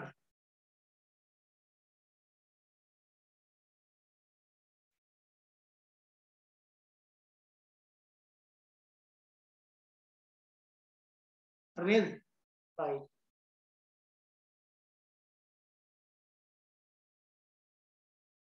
පැහැදිලි right. ලියාගන්න මෙහෙම සත්‍ය ලෙසම සත්‍ය ලෙසම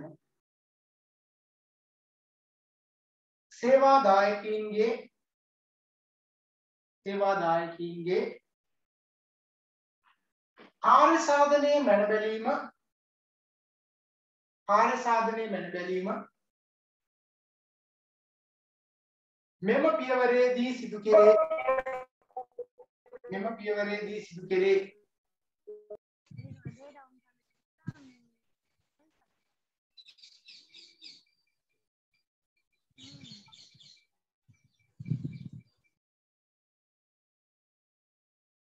සේවාදායකින්ගේ කාර්යඵල වීම සේවාදායකින්ගේ කාර්යඵල වීම ප්‍රධාන වශයෙන් දෙආකාරයකට සිදු කරයි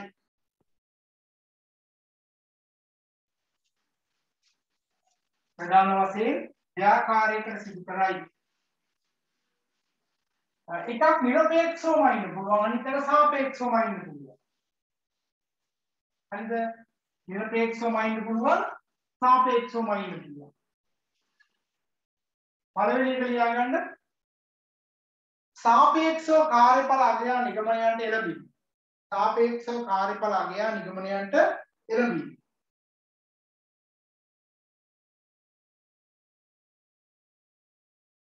සාපේක්ෂව කාර්යඵල අගය නිගමනයන්ට එළඹීම.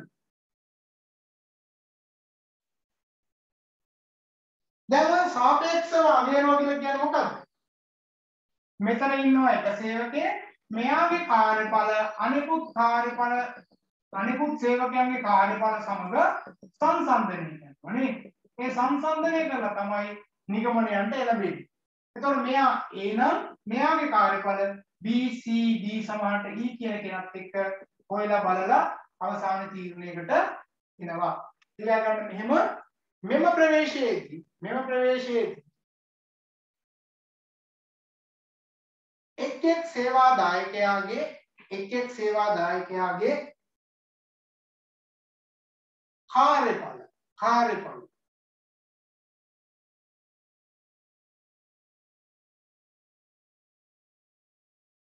අනෙකුත් සේවා දායකයන්ගේ කාර්යඵල සමග අනෙකුත් සේවා දායකයන්ගේ කාර්යඵල සමග සසඳනු ලැබේ සසඳනු ලැබේ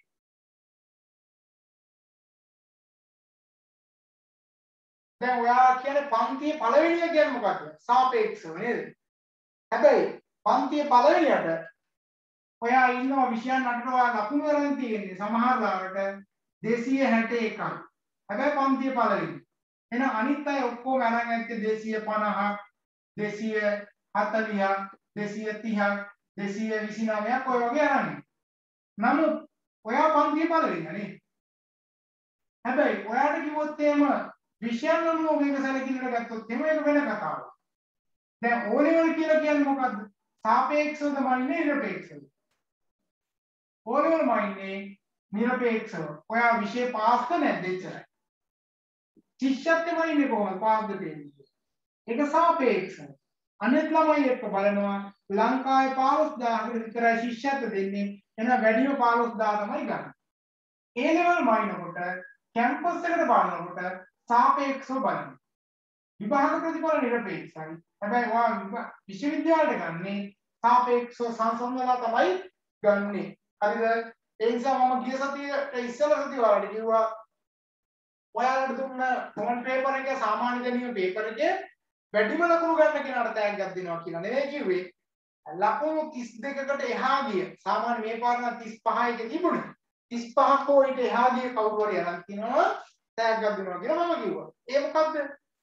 නිරපේක්ෂව වැඩිවීමක් කරලා තියෙනවා. සාපේක්ෂව වැඩිම ලකුණු ගත්ත කිව්වොත් එහෙම සමාන ලකුණු ඇත්තටම අරගෙන තියෙන 21යි එයා ඒ පළවෙනි. නේ. එතකොට සාපේක්ෂ ගත්තොත් හැම වෙලාවෙම පළවෙනි එක ඉන්නවා. නිරපේක්ෂ ගත්තොත් සමානලාට දෙන්න ඇවිල්ලා නැති වෙන්න පුළුවන් ඈ. හරි. දෙක ලියා ගන්න. නිරපේක්ෂව කාර්යඵල අගය නිගමනයන්ට එළඹී. relative නිරපේක්ෂව කාර්යඵල අගය නිගමනයට එළඹීම.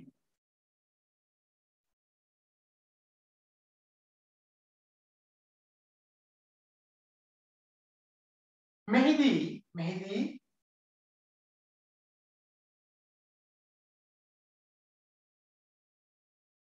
කාර්යඵල ප්‍රමිති වලට අනුව කාර්යඵල ප්‍රමිති වලට අනුව කාර්යඵල ප්‍රමිති වලට අනුව කාර්යඵල අගයන අතර කාර්යඵල අගයන අතර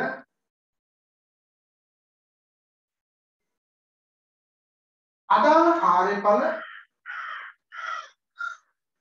අදාළ කාර්යඵල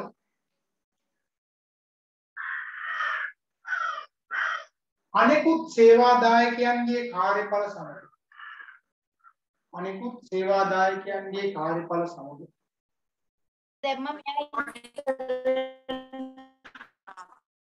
සැසඳීමක් සිදු නොකරයි සැසඳීමක් සිදු නොකරයි.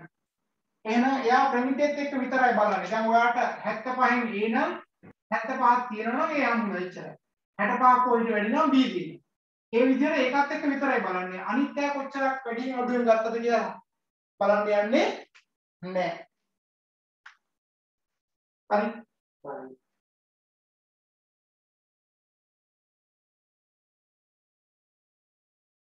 ඊට පස්සේ අපිට වැදගත් දෙයක් තමයි මේ කාර්යඵල ඇගීමේ ශිල්ප ක්‍රම. ඒතර කාර්යඵල ඇගීමේ ශිල්ප ක්‍රම ප්‍රධාන වශයෙන් කීපයක් තියෙනවා. ඒක ශිල්ප ක්‍රමයන්ගේ කීපයක් විතරයි. ඒ අපි හඳුනා ගැනීම ටික කරනවා. නමුත් සාකච්ඡා කරනකොට වැදගත්ම කාර්යඵල ඇගීමේ ශිල්ප ක්‍රම කීපය ගැන විතරක් අපි කතා කරමු. හරිද? ක්‍රියාගන මාතෘකාව කාර්යඵල ඇගීමේ ශිල්ප ක්‍රම කාර්යඵල ඇගීමේ ශිල්ප ක්‍රම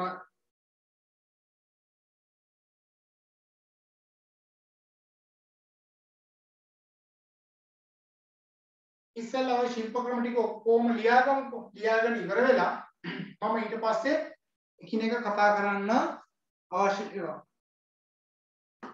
එක ගුණ පරිමාණ ඇගයුම් ක්‍රම. ගුණ පරිමාණ. ගුණ පරිමාණ ඇගයුම් ක්‍රම.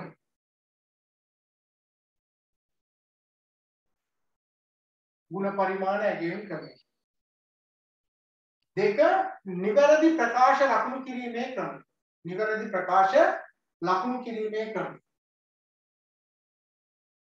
නිවැරදි ප්‍රකාශ ලකුණු කිරීමේ ක්‍රම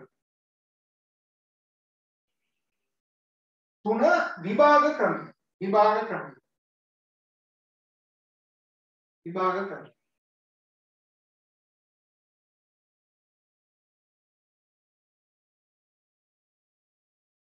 හතර රචනා ක්‍රම රචනා ක්‍රම රචනා ක්‍රම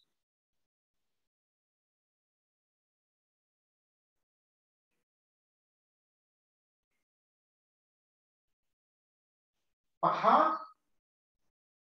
වැදගත් සිද්ධි ක්‍රම වැදගත් සිද්ධි ක්‍රම අපි කියන්නේ ක්‍රිටිකල් ඉන්සිඩන්ට් මෙතඩ් කියලා වැදගත් සිද්ධි ක්‍රම වැදගත් සිද්ධි ක්‍රම ඊගාට ස්වයං ඇගීම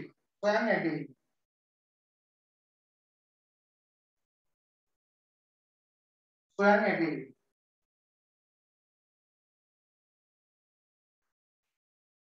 ඊගාට ශේෂ්ත්‍ර විවරණ ක්‍රම ශේෂ්ත්‍ර විවරණ ක්‍රම field review ශේෂ්ත්‍ර විවරණ ක්‍රම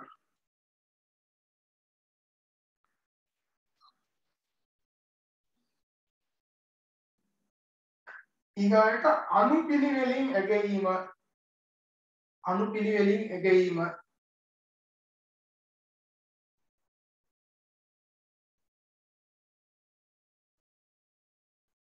නමය යුගල සංසන්දන ක්‍රම. යුගල සංසන්දන ක්‍රම.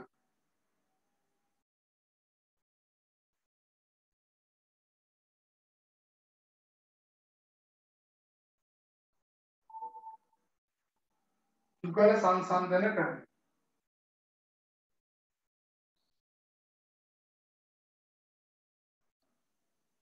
ඊගායක අරමුණු අනුව කළමනාකරණය අරමුණු අනුව කළමනාකරණය ඔක ඉංග්‍රීසි වචනේ තමයි management by objectives කියන්නේ අරමුණු අනුව කළමනාකරණය management by objectives කියලා ඒ හින්දා ගොඩාක් තැන්වල MBO ක්‍රමය කියලා තෝක නම් කරලා තියෙනවා. නේද? වරහින් දාන MBO කියලා කියන්නේ ඕකට.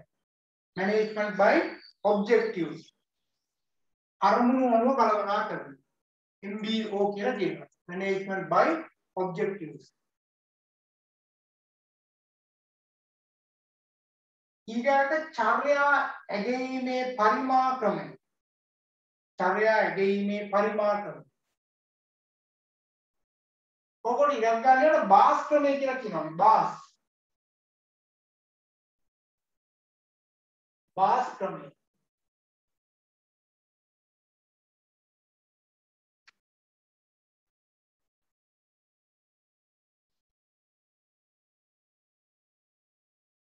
ඊගාව එක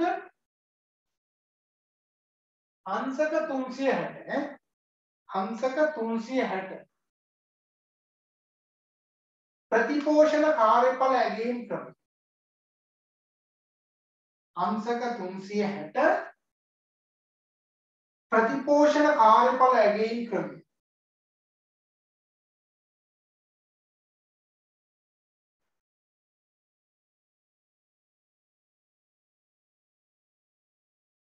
ඊගායක සම මට්ටමේ සේවාදායක ඇගීම් ක්‍රමය.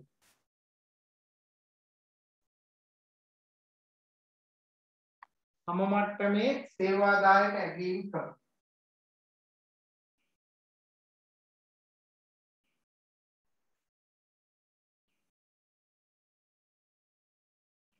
ඊගායක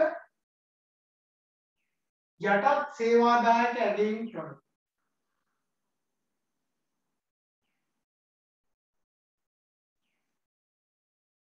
යටත් සේවාදායක ඇගීම් ක්‍රම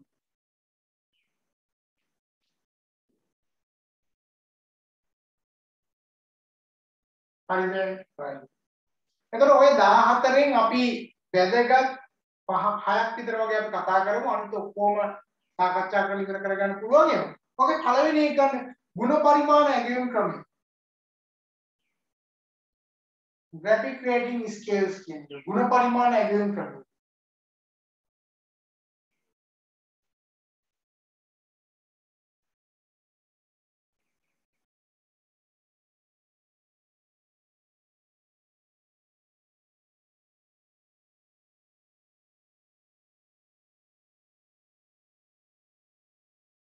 දැන් මේ ගුණ පරිමාණ ඇගීම් ක්‍රමය කියන එක ලංකාව සහ ආසියාතික රටවල් බහුතරයක් මේක පාවිච්චි කරනවා. එතකොට ඒ රැකියාවට අදාළ නිර්ණායක තීරණය කරන නිර්ණායක මත ප්‍රමිති ස්ථාපිත කරලා මේවට ළඟා වෙලාද නැද්ද කියලා බලන එක තමයි උතන ගුණ පරිමාණ ඇගීම් ක්‍රමයේදී කරන්නේ. මේ සඳහා පාවිච්චි කරන ඇප්ලිකේෂන් එකකුත් අපි කතා කරමු. ලියා ගන්න මෙන්න මේක. ශ්‍රී ලංකාව තුල ව්‍යාපාර සංවිධාන ශ්‍රී ලංකාව තුල ව්‍යාපාර සංවිධාන සිය සේවාදායකයන්ගේ සිය සේවාදායකයන්ගේ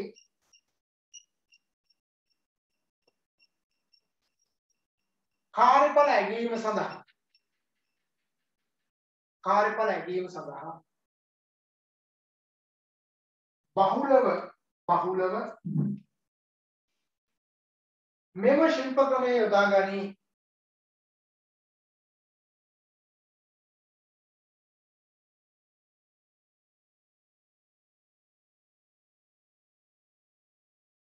මෙහිදී මෙහිදී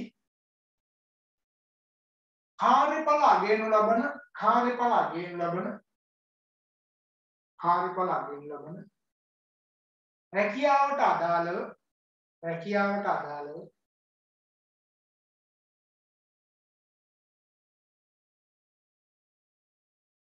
නිර්ණායක හඳුනාගෙන නිර්ණායක හඳුනාගෙන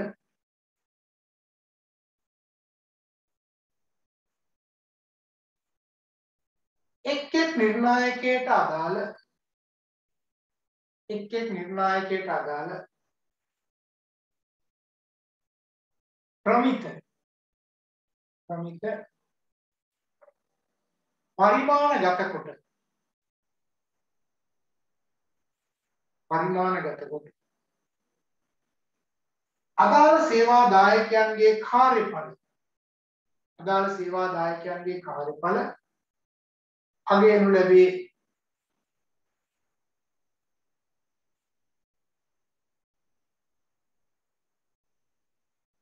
යටින් මෙහෙම ලියාගන්න.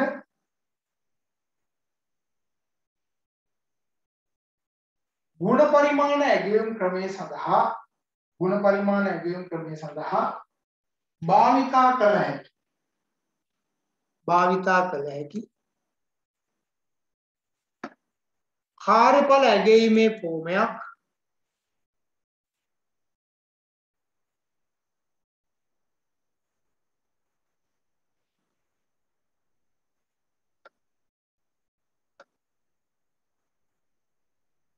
පහත පරිදි හඳුනාගත හැක.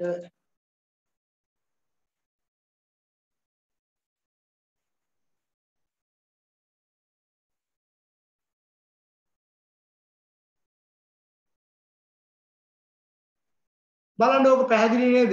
මම තියෙන ඒවත් කියන්න. දැන් මේකේ කාර්යඵල ඇගීමේ භූමිය කියලා උඩින්ම තියෙන්නේ.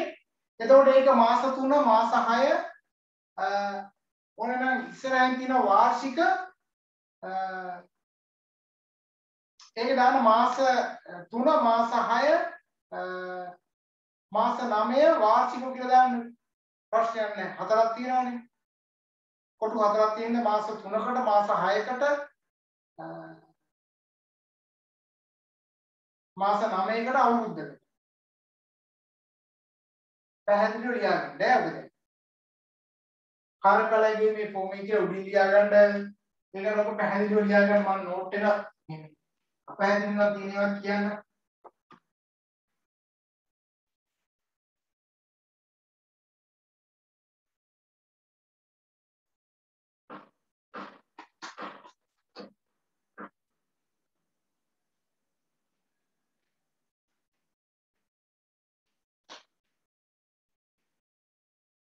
ඊට පස්සේ තියෙන සේවාදායකයාගේ නම.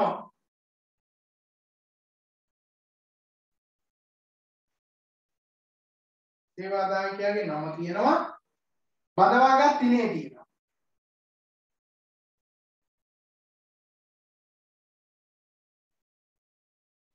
ඊගොඩ කාර්යඵල අගයන කාල සීමාව කවද ඉඳන් කවද දක්වාද කියන එකේ කියන්නේ. හරි. ඒක පහසු කාලයක් ඕනනම් මේ අවල් දවස් ඉඳන් අවල් දවස් දක්වා කියලා දාන්න කාර්යඵල අගයන්නේ කවද ඉඳන් කවද දක්වා 2021 අගෝස්තු 28 ඉඳන් සැප්තැම්බර් 20 දක්වා කියලා දාන්න ඕන.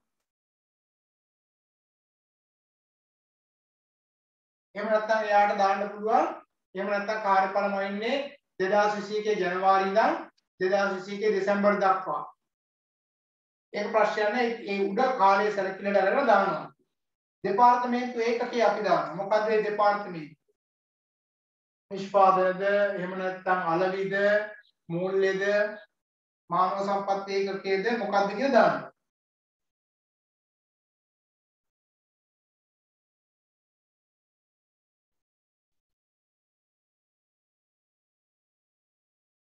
ඊගොල්ලෝ තියෙන එක් එක් නිර්ණායකයට අදාළව සේවකයාට වඩාත්ම ගැළපෙන කාර්ය සාධනයට අදාළ කොටුව ලකුණු කරන්න කියලා. පළවෙනි එක ඉතා දුර්වලයි, දෙක දුර්වලයි, තුන සාමාන්‍යයි, හතර හොඳයි, පහ විශිෂ්ටයි. පහ විශිෂ්ටයි.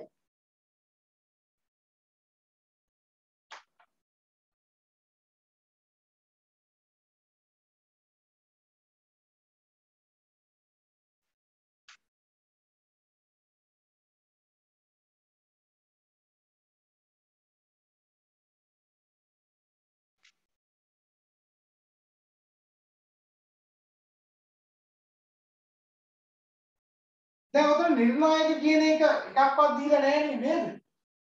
මම නිර්ණායක කීපයක් දෙන්න ඒක ලියා ගන්න එක. නැත්තම් උතන කොටුව හිස්ස තියෙද්දි මොකද්ද කියලා හිතෙන්නේ නැහනේ. කාර්ය සාධන පරිමාණයන් 1 2 3 4 5 කියලා තියෙනවා. ඊට පස්සේ එකතුව තියෙනවා. හරිද? නිර්ණායක මම කීපයක් දෙන්න. හරි. ලියා ගන්න නිර්ණායක මෙහෙම වැඩ ප්‍රමාණය. වැඩ ප්‍රමාණය. වැඩ ප්‍රමාණ නිර්ණායකයන්ට ලියා ගන්න. ඊගොඩ වැඩවල ගුණත්වය වැඩවල ගුණත්වය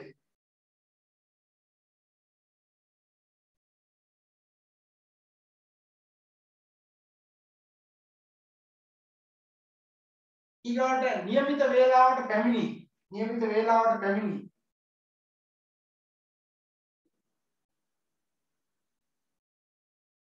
ඊගොඩ විශ්වාසදායී බව විශ්වාසදායී බව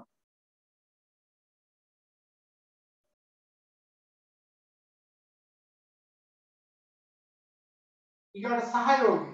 සහයෝගය.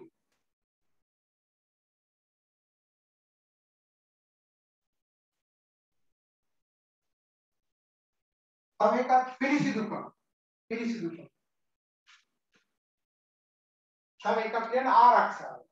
ආරක්ෂා ඔය ඇති. ඕවට දැන් කාර්ය සාධන පරිමාණයන 1ද 2ද 3ද 4ද 5ද දෙන්නේ කියලා බලන්න පුළුවන් නේ. ඊට පස්සේ පහ දෙනවා නම් ඒක එකතු අපි ගන්න.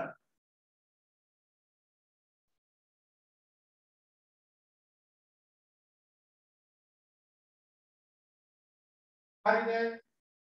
කාර්ය සාධන පරිමාණයන 1 2 3 4 5 කියලා දාලා එකතුවක් දාලා ගන්නද?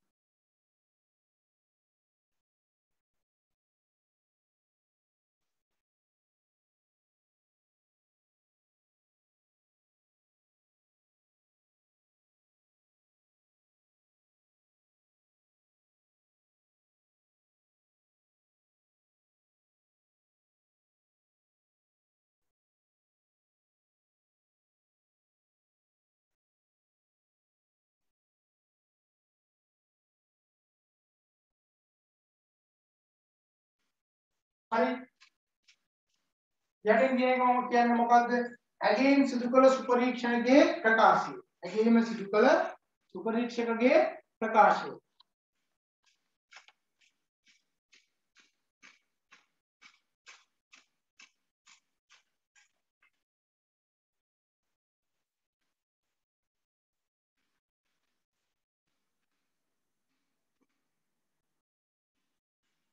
ඒක ඉඩක් තියලා සේවා දායකයාගේ ප්‍රකාශය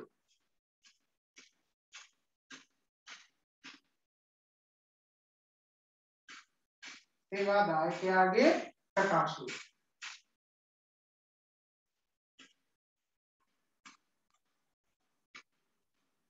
ඊගාට සේවා දායකයාගේ අත්සන සේවා දායකයාගේ අත්සන යටින් දිනේ තියෙනවා ඊට ඇගේන් සිදු කළ සුපරීක්ෂණයේ අත්සන දිනය.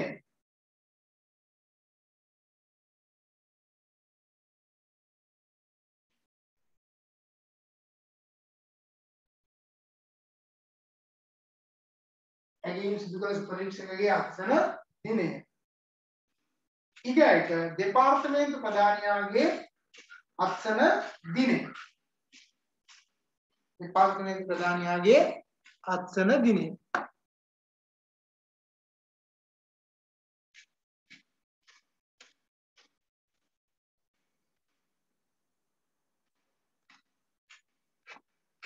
හරිද?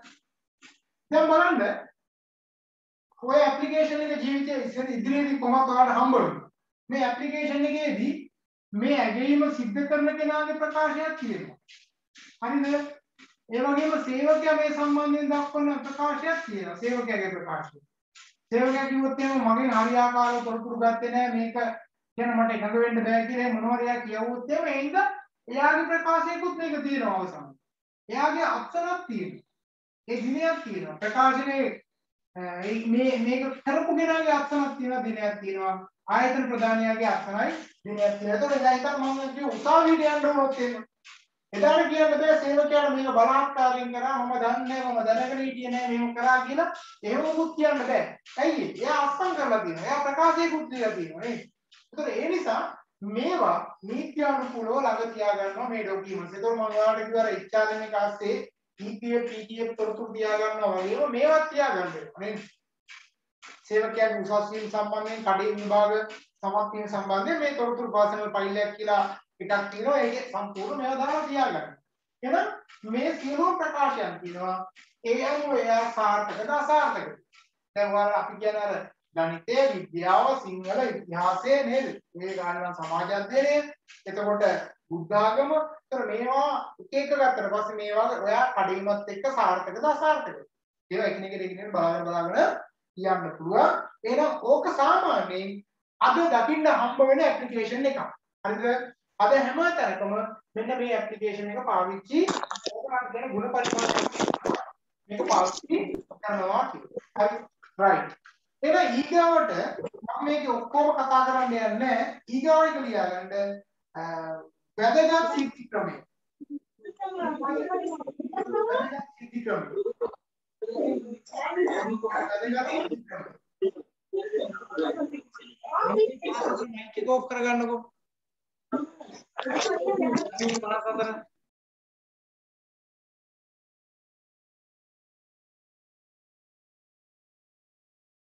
වැදගත් සිද්ධි ක්‍රමය. දැන් වැදගත් සිද්ධි ක්‍රමය කියන එක ගත්තට පස්සේ අපිට හඳුනා ගන්න පුළුවන් වැදගත් වූ කරුණු කාරණා ඇතුළත් වෙලා තියෙන කොටසක් දීලා ඒ සම්බන්ධයෙන් ඔයාගේ දැනුම් හැකියාව පරීක්ෂා කර බලලා යම් යම් නිගමනයන් එළඹීම තමයි සිද්ධ කරන්නේ. ලියා ගන්න මෙහෙම මෙම ක්‍රමයට අනුව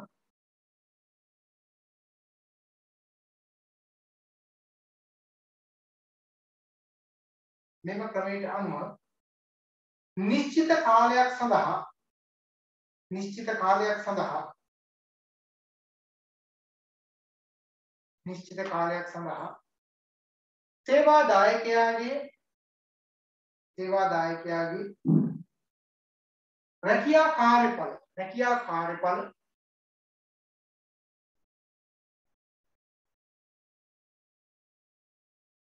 රැකියා කාර්යඵල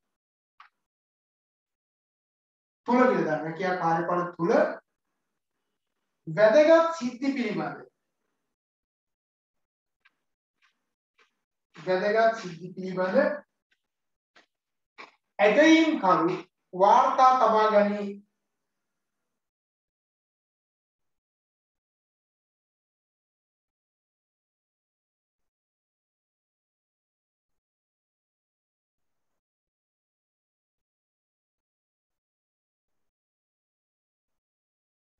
එහිදී එහිදී අදාළ සිද්ධි?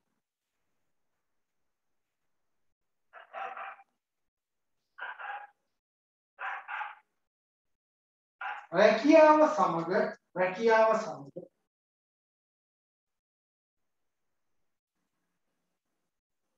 ධනාත්මක ලක්ෂණ හෝ ඍණාත්මක ලක්ෂණ පෙන්වන්න කළ හැක.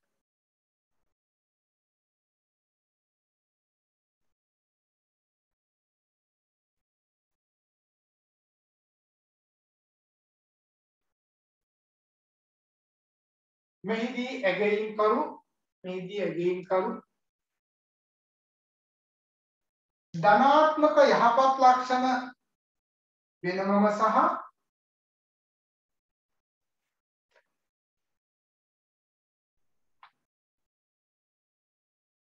ඍණාත්මක අයහපත් ලක්ෂණ වෙනමම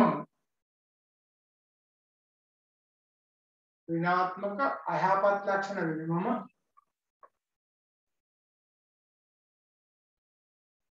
සටහන් කර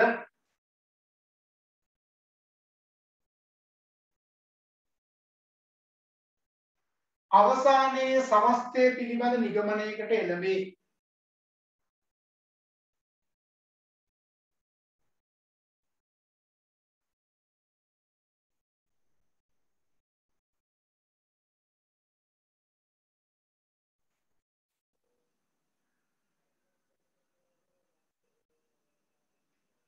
හරිද? දැන් එයාගේ රැකියා කාලය තුල හිතන්නකො මාස 6ක් නම් 6ක් නම් 10ක් නම් 10ක් අවුරුද්දක් නම් අවුරුද්දක් ඇතුළත එයාගේ ධනාත්මක සහ ඍණාත්මක ලක්ෂණ දිහා සැලකිල්ලට ගන්නවා. දැන් උදාහරණයක් විදිහට ගත්තොත් එහෙම දැන් සමාජලාවට හිතන්නකො දේශපාලඥයෙක් කියලා. ඒ දේශපාලඥයෙක් එහෙම නැත්නම් අපි තුමු රටේ ජනාධිපති කියලා. ඒ ජනාධිපති පිළිබඳව අවුරුදු 5 ඇතුලේ ගත්ත ධනාත්මක ලක්ෂණ සහ ඍණාත්මක ලක්ෂණ දිහා මිනිස්සු බලාගෙන. නේද? ඒවා දිහා බලාගෙන අවසානයේ ධන ඍණ ඔක්කොම සැලකිල්ලට අරගෙන එයා හොඳද නරකද කියලා ඊළඟ මැතිවරණයේ තීරණය කරනවා නේද? ඒකත් මේ වගේ සිද්ධි එකක් තමයි සැලකිල්ලට ගන්න. දැන් හිතන්නකෝ රාජ්‍ය පාලනය කරපු පක්ෂයක් විදිහට එක්සත් ජාතික පක්ෂය ආණ්ඩු බලයේ තියාගෙන ඉඳලා අගමැතිකම් ඔක්කොම දරලා මහමැතිවරණයකට ඇවිල්ලා අවසානයේ ජාතික රාජ්‍යයෙන් එන മന്ത്രി ධූරයක් විතරක් ගන්න තැනටපත් වුණා නේද? උතන මිනිස්සු ඒ අය හැසිරිච්ච විදිය සහ ක්‍රියාත්මක වෙච්ච සිද්ධි දිහා බලාගෙන හිටියා. බලාගෙන ඉඳලා අවසානයේ තීරණයකට එළඹුණා. එතකොට පාසල් කාලේත් අපේ හොඳ ලක්ෂණ සහ නරක ලක්ෂණ අපි අර ශිෂ්‍ය වාර්තාපතේ සටහන් කරනවා. ඒකල තමයි අවසානයේ අපේ ප්‍රතිඵලය නිකුත් කරන්නේ මෙයා හොඳද නරකද කියලා. ඒතකොට ඒ නිසා මෙතනදී සේවකයා පිළිබඳව ප්‍රායෝගිකව ඇගීමට ලක් කරනවා මේ ක්‍රමයේ තියෙන වාසිය තමයි අතීතයේ නැඹුරු වෙන්නේ නැතුව ප්‍රායෝගිකව සේවකයා දිහා බලාගෙන ඉඳලා මේකට එළඹෙන්න පුළුවන්. ඒ නිසා නිවැරදි ආකාරයෙන්ම හරි තීන්දුව తీරන ගන්න පුළුවන්. සේවකයා වැඩ කරනකොට යා සුභවාදීද අසුභවාදීද කියලා හරියට මේකෙන් බලාගෙන ඉන්නේ හැකියාව තියෙනවා. හරි. ඒකේ වාසි අවාසි මම ලියන්න යන්නේ right. ඊළඟ ඊගාට අනුපිළිවෙලින් ඇගෙයි. අනුපිළිවෙලින් ඇගෙයි.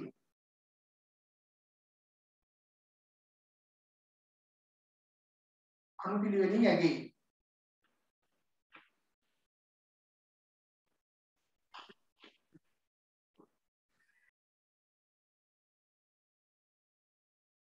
හරිද මේ අනුපිළිවෙලින් ඇගීම කියලා කියන්නේ දැන් හිතන්නකෝ ආයතනයේ ඉන්නවා සේවකයෝ 10ක් මේ සේවකයෝ 10 ගත්තට පස්සේ ඇගීම් කරු කරන්නේ 1 2 3 4 5 6 7 8 9 10 කියලා මෙයාගේ කාලේ අවසානයේ ඇගීම සිද්ධ කරලා අවසානයේ එයා තීරණය කරනවා කවුද 1 කවුද 2 3 4 5 කියලා මෙන්න එකේ ඉඳන් 10 දක්වා පෙළ ගස්සලා හොඳම සහ නරකම කියලා එයා පෙළ ගස්සනවා අනුපිළිවෙලින් ඇගීමකට ලක් කරනවා අර අපි ඉස්කෝලේ යන කාලේ පන්ති පළවෙනි යගේ ඉඳන් අන්තිමය දක්වා ශිෂ්‍ය වාර්තා පොත් දෙනකොට දෙන්නේ නේද?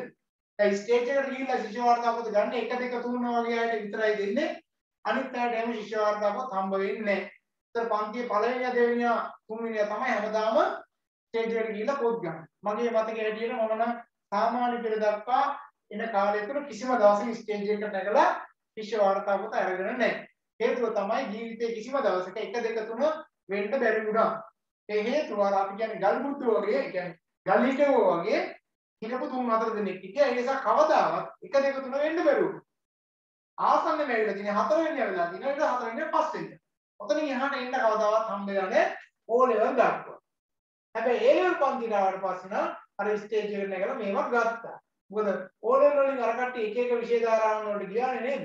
එහෙම ගියාට පස්සේ ඒ තරඟකාරීත්වය ඒ ලෙවල් එකේදී වෙනස් වෙනවා. එතන ඇවිල්ලා තියෙන වෙනම තරගයක්. හැබැයි ඉතින් අර පන්ති 1 2 3 වෙච්ච අය අවසානයේ විශ්වවිද්‍යාල ගියේ නැහැ. එහෙම ඒවා තියෙන ඕන තරම් ඔයාලටත් ඒ අත්දැකීම් ඇති. ඒ හින්දා එතනට ආපු හැමෝම මෙතනට එනවා කියන එක නෙවෙයි සමහරවල් රැකියාවේ ආරම්භයේ තිබ්බ මූලික ගති ලක්ෂණත් එක්ක යනකොට ඉස්සරහින් හිටපු අයට වඩා පස්සේ ආපු අය සමහරවල් ඉස්සරහට ඇවිල්ලා තියෙනවා. ඒ යම් තැනකට ඔයා ගියොත් එම ඔයාගේ අර අපි කියන රිද්ම් එක ඒක හැමදාම එකම විදිහට තියාගෙන ඉස්සරහට යන්න උත්සාහ කරන්න එහෙම නැත්නම් ඉක්මනින් ඔයා කඩා වැටෙනවා නේ. විවිධ දේවල් මත කඩා වැටෙන ප්‍රමාණය වැඩිනේ. ඉගෙන ගන්න ගියත් යම්කිසි කාර්යයක් කරන්න ගියත් පුදුමාකාර ප්‍රශ්න තියෙනවා. හැබැයි හැම ප්‍රශ්නයක් එක්කම තමන් සාර්ථකව මුහුණ දෙන්න ඕනේ. විවිධ ගැටලු තියෙනවා. දැන් මම කිව්වේ අර පෞද්ගලික කාලේ විභාගෙ ලියනකොට එක දරුවෙක් මට කතා කරා එයාගේ අම්මයි තාත්තයි නංගි තුන්දෙනාටම කොරෝනා හැදිලා ගෙදර තියෙද්දි එයාට හැදිලා නැහැ. එයා තමයි බලාගන්නේ. එහෙම තියෙද්දි විභාගෙ ලියුවා. ඒතොර හිතන්නකෝ නේද? එහෙම තියෙද්දි ගේ ඇස්සේ තුන්දෙනෙකුට කොරෝනා හැදිලා ඉද්දි එයා විභාගෙ ලියුවා. ආයි කලමේ හොස්පිටල් එකේ ඉඳන් ලියලා දාලා තිබුණා. ඉතින් ඒ නිසා ඒ එක එක්කෙනාගේ රිදම් එක සමහර කෙනෙක් ඒක අතහැරලා දාන්න ඕනේ. දැන් ගිය පාට ඉස්සෙල්ලා පාර මහනුවර දිස්ත්‍රික්කයේ පළවෙනි දෙවෙනි තීරණය කරන්නේ නමුත් මේ ප්‍රතිඵල ලේඛනත් එක්ක අපි බලද්දි පළවෙනියම හිටපු නළුවා එයාගේ අම්මා කැන්සර් එකක් හැදිලා නැති වෙලා ඉඳි තමයි විභාගෙ ඉවරයි. හැබැයි එයා තමයි එක වෙලා. ඉතින් ඒ නිසා එක එක්කෙනාගේ මට්ටම් වෙනස්. ඒතකොට එතකොට එක එක සේවකයාගේ මට්ටම් වෙනස් වෙනකොට දැන් සමහර අය තමන්ගේ ප්‍රශ්න එලින්ම මුදා හැරලා අනුකම්පාව ලබා ගන්න උත්සාහ කරන අවට සමානයි. තව කෙනෙක් එහෙම එළියට දාන්න යන්නේ නැහැ. ඒ අනුකම්පාවට භාජනය වෙන්න එයා කැමැත්තක්. තමන්ගේ ධෛර්යය ඊට වඩා තියෙනවා කියලා හිතාගෙන එයා ධෛර්ය සම්පන්නව කටයුතු කරනවා. නේද? එහෙනම් මේ දෙකොට්ටාසේ නේද?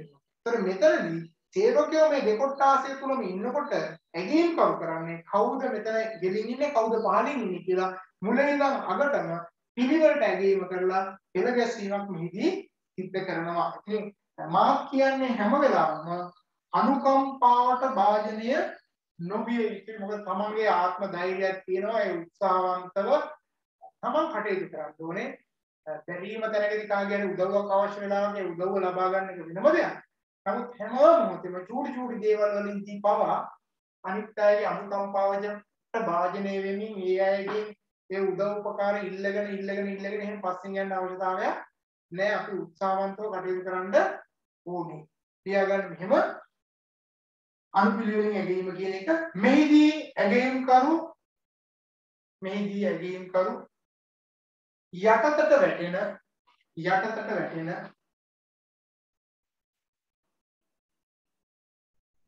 සියලුම සේවකයන්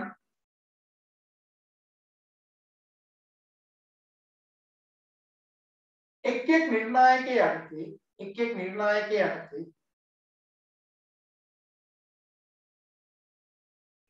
හොඳම සේවා දායකයාගේ සිට හොඳම සේවා දායකයාගේ සිට නරකම සේවා දායකයා දක්වා නරකම සේවා දායකයා දක්වා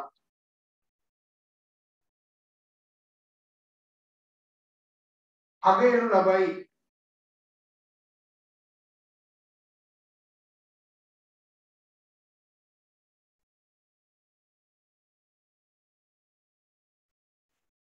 එහිදී එක් එක් සේවා දායකයාගේ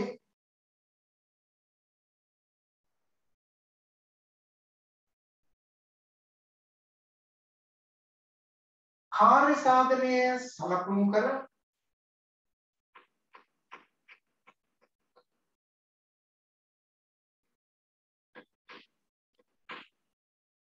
අනුපිළිවෙලින් පෙළ ගැස්වීම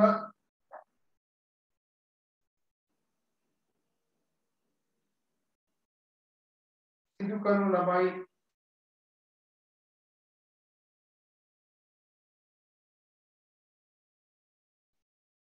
හරිද? දැන් මේ වගුව ඕනේ මම නිකන් වගුව කිව්වොත් දැන් ඉස්සලා ගිහින්නකො ඉස්සලා නිර්ණායක ටික. දැන් නිර්ණායක ටිකක් ගන්නවා. නිර්ණායක ගන්න. හරිද නිර්ණායක අරගෙන එයා ලකුණු දෙන්නේ ඒ කොයි කොයි සාධකයේද කොයි විදිහට එකද දෙකද තුනද හතරද කියලා එයා ලකුණු දෙන රටාව තීරණය කරගන්න. එතකොට ලකුණු දෙනකොට ඉතින් මෙතන ඉන්නේ සේවකයෝ නම් මෙතන සේවකයා A B C D E, e ඒ කොයි විදිහට යනවා කියනවා. එතකොට නිර්ණායක විදිහට අපි ගත්තොත් සේවයට පැමිණි. වැඩි ගුණත්වය. පිරිසිදුකම. ආරක්ෂාව. සම්පත් අරබීම. නවනි නවනි පැවුම් සඳහා යොමු වීම. මේ වගේ සාධක ටිකක්. ඒ සාධක අනුව ලකුණු 3 4 2 1 ඔය විදිහට දීලා අවසානයේ බලන මුළු එකතුව අනුව කවුද වැඩිම ලකුණු අරගෙන තියෙන්නේ කියලා. ඒ අනුව එයා කියනවා මෙයා තමයි හොඳම සේවකයා මෙයා නරකම සේවකයා කියලා ඒ පෙළ ගැස්වීම ටික කියනවා. එතකොට දැන් ඔයාලා දන්නවා සමහර වෙලාවට ඉස්කෝලේ යන කාලේ පන්තියේ පළවෙනියා වෙන කියලා හැමදාම ඉස්කෝලේ ඇවිල්ලා නැහැ. හැමදාම ඉස්කෝලේ අපි පළවෙනියා වෙලා නේද? ඉතින් සමහර අය කොට්ටාසයක් ඉන්න ඉස්කෝලේ ඉන්න කැමති. හැබැයි ඉගෙන ගන්න වැඩ වලට එච්චර කැමැත්තක් නැහැ. ඒතකොට ඒ නිසා මේ කාරණා සියල්ලක්ම සැලකිල්ලට ගන්නවා. ඒ හින්දා තමයි අර ඒ ලෙවල් වලදී ඔයාලට මතකද දන්නේ නැහැ. ඔයාලට 180 බැලුවා නේද? 180 බලලා තමයි ඒ ලෙවල් විභාගෙ ලියන්න දුන්නේ. නැත්තම් ලියන්න දෙන්නේ නැහැ කියලා. ඉතින් අපේ කාලේ මේ ප්‍රශ්නේ ආවා ඒ විදිහට. ඉතින් බොහෝ ළමයි 180 බැලුවට ඉස්කෝලේ ඇවිල්ලා තිබුණේ නැහැ. පස්සේ ඉතින් අපි කල්පනා කරලා බැලුවා 180 නැති වුණොත් ඒ විභාග ලියන්න දෙන්නේ නැහැ කියලා පාසල් පරිපාලනයේ දැඩි ලෙස ඉහළින්ම ඒක ගැන කටයුතු කරා. ඊට පස්සේ විභාගයේ අහවල් දවසේ සඳහා විභාගයේ ඉලුම්පත් දානවා කියලා ওই විදිහට කියනවනේ අපේ කීප දෙනෙක් හිටියා. දැන් මේ 180 නැති ප්‍රශ්නෙත් එක්ක ඉතින් අපි යාළුවෝ ටික ඔක්කොම එකට ඉන්න නිසා පස්සේ බැලුවා මේකට කරන්න පුළුවන් හොඳම විසඳුම මොකක්ද කියලා.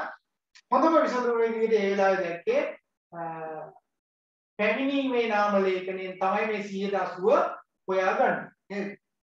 ඉතින් එක්තරා දිනයකදී හවස් කාලේ ස්කෝලින් අතර වෙලා මේ පැමිණීමේ නාම ලේඛන දෙකක් තිබුණා. මේ නාම ලේඛන දෙකම සුරක්ෂිතව ළඟටගෙන අදාළ ශිෂ්‍යයන් විසින් මේක රැගෙන ගොස් කුඩා කුඩා කැබලි වලට ඉරා මහවැලි ගඟට විසි කරන ලද. දැන් මොකද උනේ?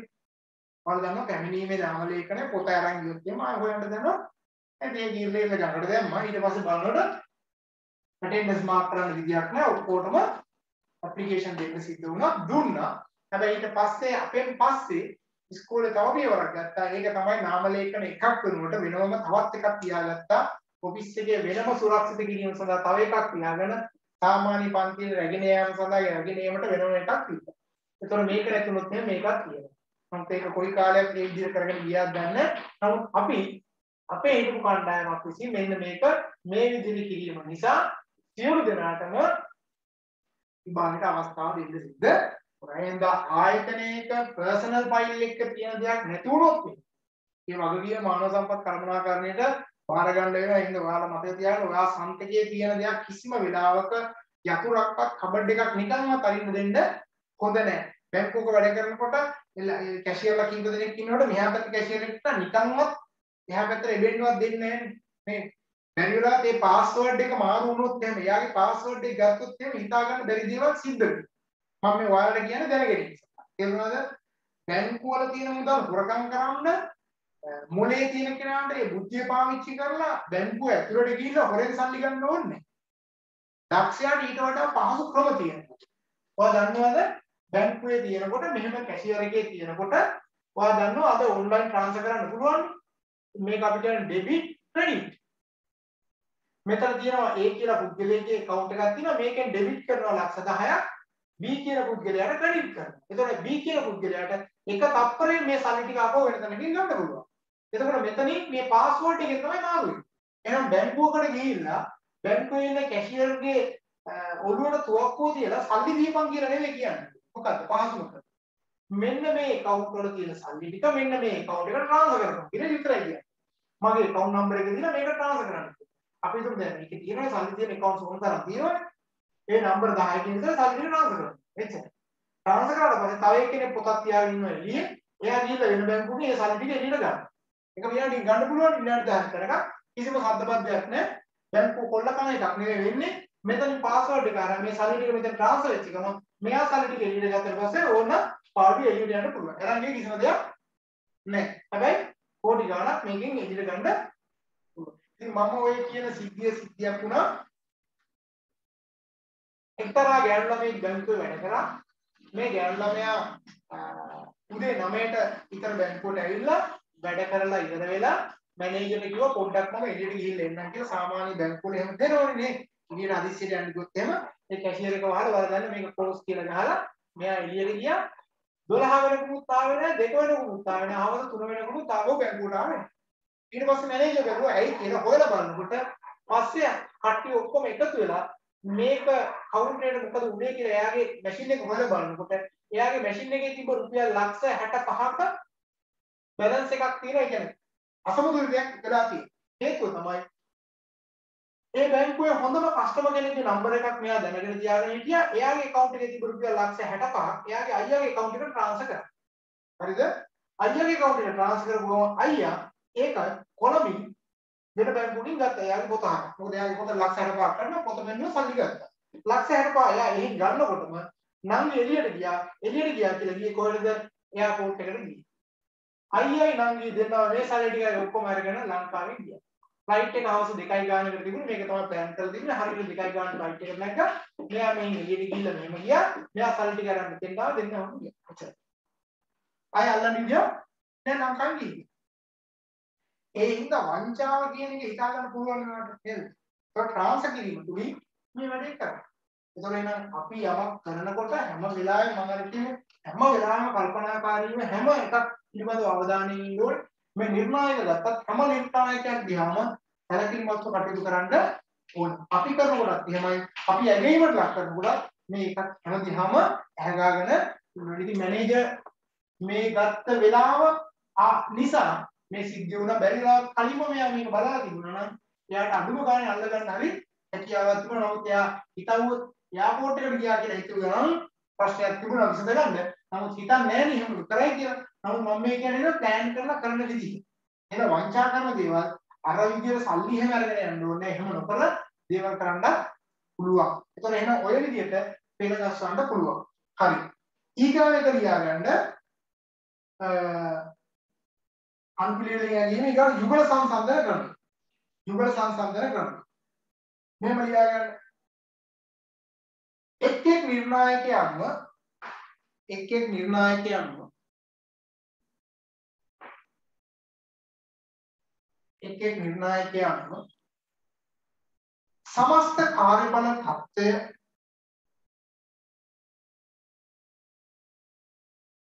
සමස්ත කාර්යබල තත්ත්වය සැලකිල්ලට ගනිමින් සැලකිල්ලට ගනිමින්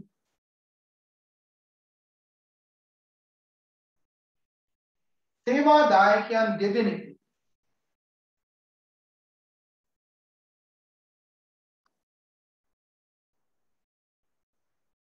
සේවා දායකයන් දෙදෙනෙකු. එක්වරගෙන එක්වරගෙන ඇගයීමට ලක් කිරීම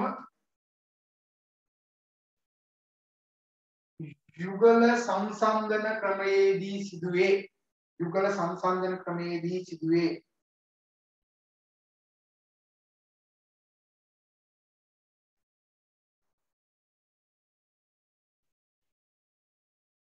එහිදී එක් සේවකයෙකුගේ කාර්යසාධනය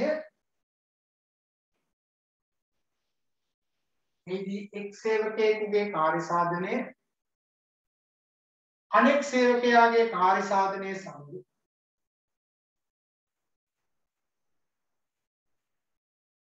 සසඳා නිගමනයන්ට එළඹේ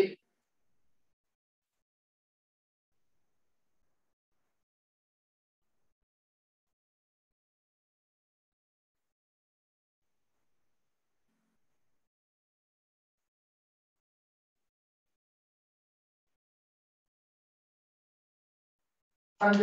එතකොට දෙන්න දෙන්න දිහා බලලා තමයි මේක කරන්නේ. එතකොට දෙන්න දෙන්න දෙන්න අරගත්තට පස්සේ සේවක 1000ක් විතරක් ඉන්නවනම් විශාල වාර ගණනක් මේක සිද්ධ කරන්න සිද්ධ වෙනවා. එතකොට ඒ වගේ තැනකදී මේක යෝග්‍යද නැද්ද කියලා තීරණය කරන්න වෙනවා.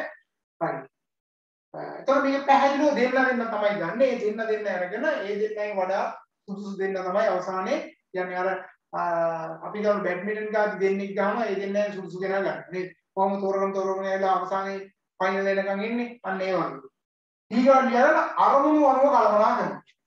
MBO ක්‍රමේ මම අර කිව්වේ අරමුණු අනුව කල්පනා කරනවා.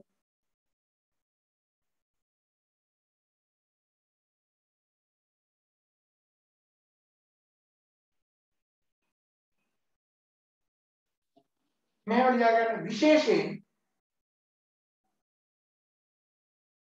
විශේෂයෙන් කළමනාකරන මට්ටමේ කළමනාකරන මට්ටමේ සේවකයන්ගේ කාර්යඵල ඇගීමට. කාර්යඵල ඇගීමට යොදා ගන්නා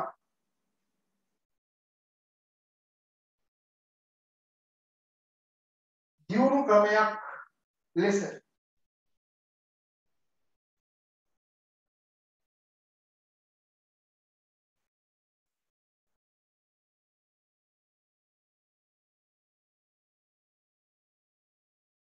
මෙය හඳුනා ගනී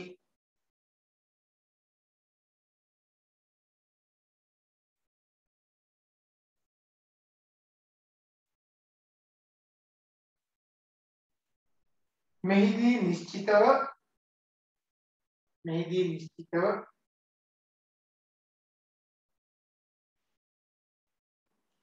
තීරණය කළ කාලච්ඡේදයක් තුළ තීරණය කළ කාලච්ඡේදයක් තුළ තීරණය කළ කාලච්ඡේදයක් තුළ සේවාදායකයන් සේවාදායකයන් මුදුන්පත් කරගතේ මුදුන්පත් කරගතේ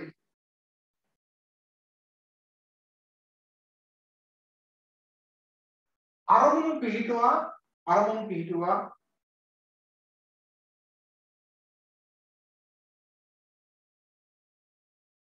ඉන්පසු එම අරමුණු ඉටු වූ ප්‍රමාණය. ඉන්පසු එම අරමුණු ඉටු වූ ප්‍රමාණය. අනුව කාර්යඵල ඇගීම සිදු කරනු ලබයි.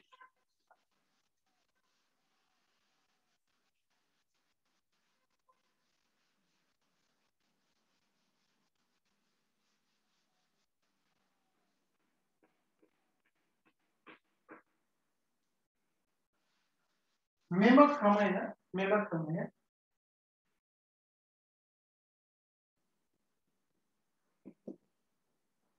පීටර් ඩකර් පීටර් ඩකර් විසින් ප්‍රථම වරට හඳුන්වා දෙන ලදී.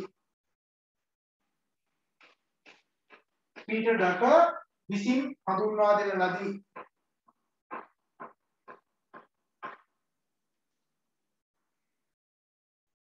වර්තමානයේදී මෙම ක්‍රමය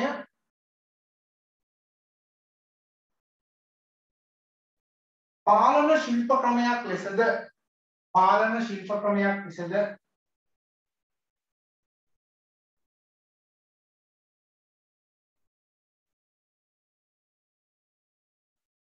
භාවිතා කරනු ලබයි.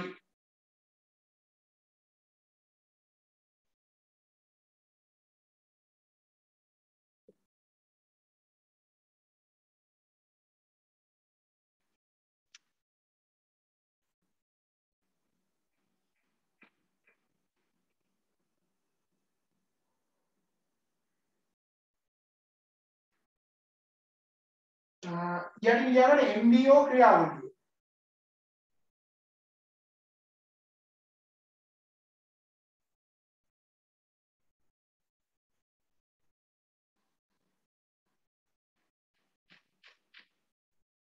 MBO ක්‍රියාවලිය.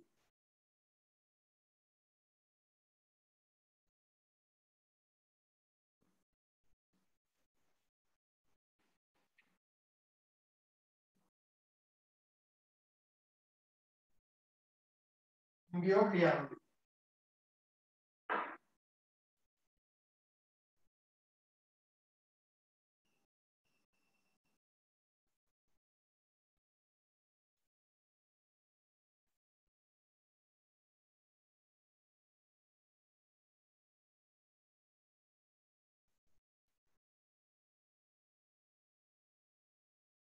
හරිද මේක පැහැදිලිව බලා ගන්නවා මම කියන්නේ දැන් මේ කොටු හතරක් තියෙනවා. හතරක් ඇවිල්ලා ආපහු ප්‍රතිපෝෂණයත් එක්ක සම්බන්ධ වෙනවා. උඩින්ම තියෙන්නේ මොකද්ද?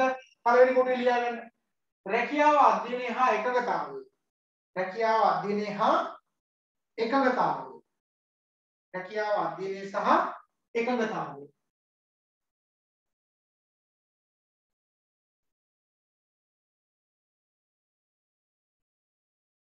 හරි. දෙවෙනි කොටුවේ තියෙන්නේ කාර්යඵල ඇගීමේ කාර්යඵල ඇගීමේ අරමුණු පිහිටුවා ගැනීම හා අරමුණු පිහිටුවා ගැනීම හා ඇගීම් ප්‍රමිති ඇගීම් ප්‍රමිති පිහිටුවා ගැනීම.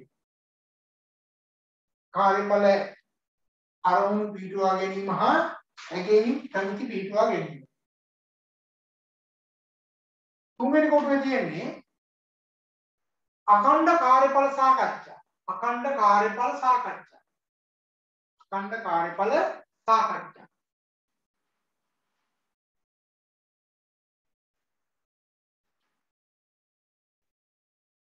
හතරවෙනි කොටුවේ තියෙන්නේ ඇගයීම් සිදු කිරීම. ඇගයීම් සිදු කිරීම.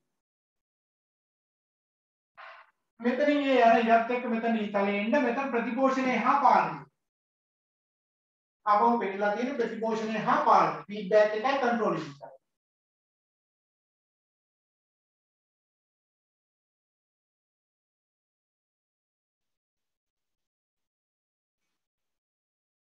හරිද? දැන් ඔය ක්‍රමේ වාසි අවාසි ටිකක් තියෙනවා. නමුත් ඒකට අපි යන්න අවශ්‍යතාවයක් නැහැ. ඊගාට ලියා ගන්න මොකද්ද? තව අපි එකක් ගමු. අංශක 360 ප්‍රතිපෝෂණ කාර්යඵල ඇගීම් ක්‍රම. අංශක 360 ප්‍රතිපෝෂණ කාර්යඵල ඇගීම් ක්‍රම.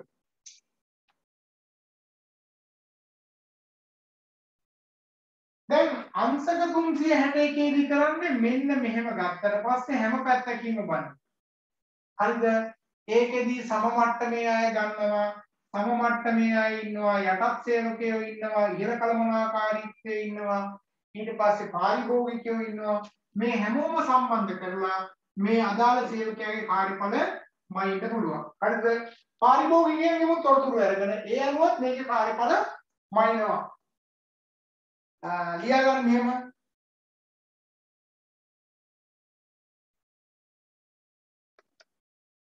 සේවාදායකීන්ගේ සේවාදායකීන්ගේ කාර්යඵල මැනීම සඳහා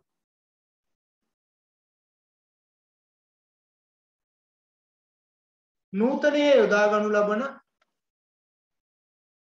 නූතනයේ යොදා ගනු ලබන තවත් වැදගත් ඇගීම් ක්‍රමයක් ලෙස මේ හඳුනා ගනී.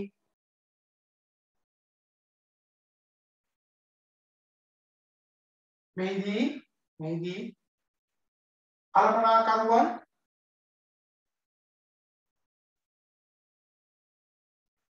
සුපරීක්ෂකයින් සමමට්ටමේ සේවකයින්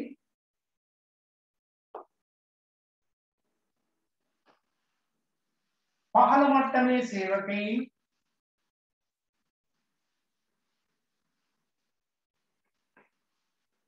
පාරිභෝගිකයන්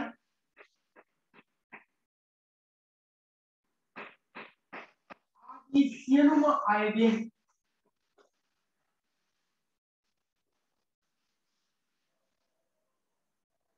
අදාළ සේවකයාගේ කාර්යඵල සම්බන්ධව අදාළ සේවකයාගේ කාර්යඵල සම්බන්ධව තොරතුරු රැස් කරගනි.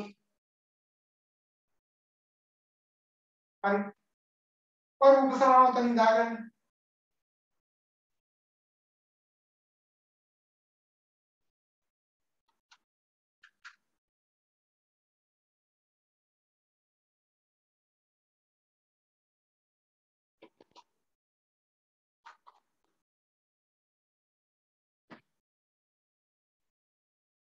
ඔය උපසනාව දාගන්න. කල්පනාකරුවන් සුපරීක්ෂකයින් උඩ ඉන්නවා පාරිභෝගිකයින් ඉන්නවා යලත් සේවකයින් ඉන්නවා සම්මට්ටමේ සේවාදායකයින් ඉන්නවා. ඇගේ වැඩ වාජනය වල සේවාදායකයෝ.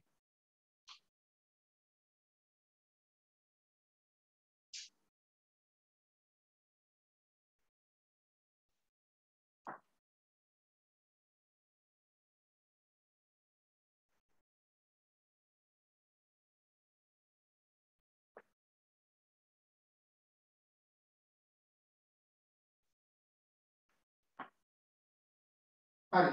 එහෙනම් අපි ඔතනින් කාර්යඵල ඇගීමත් ඉවර කරනවා. එහෙනම් තුන්වෙනි එක ලියාගන්න කාර්යඵල කළමනාකරණය. කාර්යඵල කළමනාකරණය. managing performance කාර්යඵල කළමනාකරණය.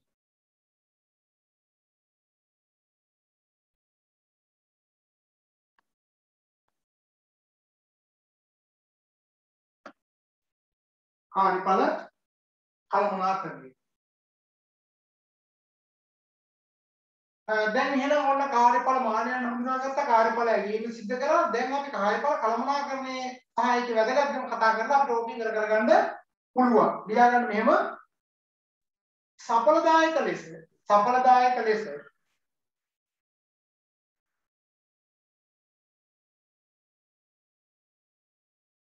සේවාදායක කාර්යඵල කළමනාකරණය කිරීමේදී සේවාදායක කාර්යඵල කළමනාකරණය කිරීමේදී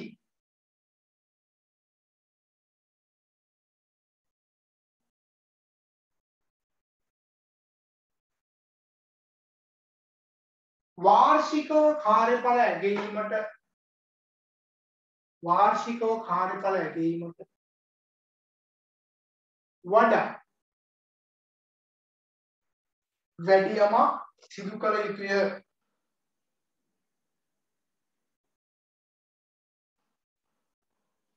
එහිදී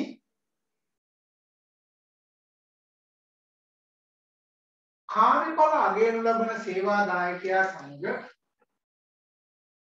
කාර්යඵල අගයනු ලබන සේවාදායකයා සමග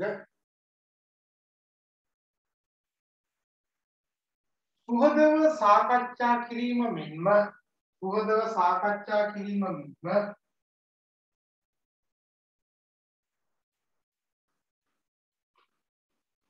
ඔහුගේ අඩුපාඩු. ඔහුගේ අඩුපාඩු. පෙන්වා දීමත් පෙන්වා දීමත්. ඒවා මගහරවා ගන්නා ආකාරය පෙන්වා දීමත් වැදගත් වේ.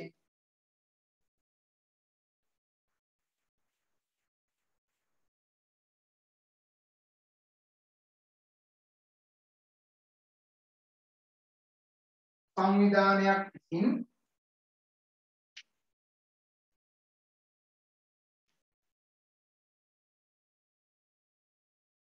වර්ෂයකට වරක් වර්ෂයකට වරක් කාර්යඵල ඇගීම වෙනුවට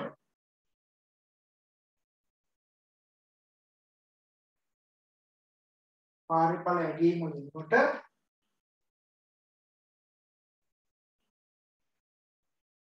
වර්ෂයක් තුල කීප විටක් වර්ෂයක් තුල කිහිප විටක් කාර්යඵල ඇගීම වැදගත් වේ.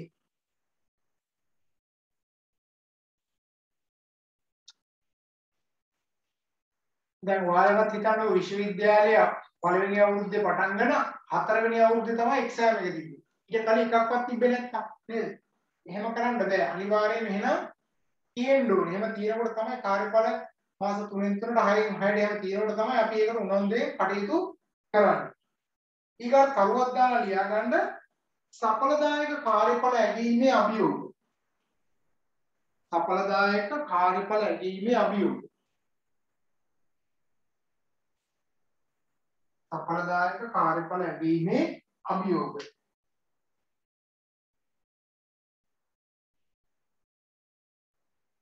ඒ තියෙන ප්‍රධාන අභියෝග ටික මම කෙලින්ම දෙන්නම්කෝ තරු දාලා පල්ලයට ලියා ගන්නකො. එහෙම නැත්නම් එක දෙක දාගන්න.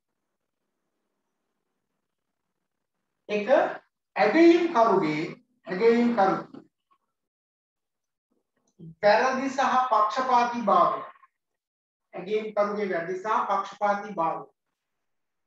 දැන් හිතන්න ඔයාලගේ පේපර් එකක් බලලා ඇගීම් කරු වැරදියට පේපර් එක බලලා තිබ්බා නේ ඔයාලට හම්බෙන්න ඕන ලකුණු විශාල ප්‍රමාණයක් නැති වෙලා යන්න පුළුවන්. ඇගීම් කරුගේ වැරදි සහ පක්ෂපාතී භාවය. දෙක. කාලය. කාලය. කාලයත් අද විදි ප්‍රශ්නයක් අහන්න. ඊගාක සංවිධානමය දේශපාලන සංවිධානමය දේශපාලන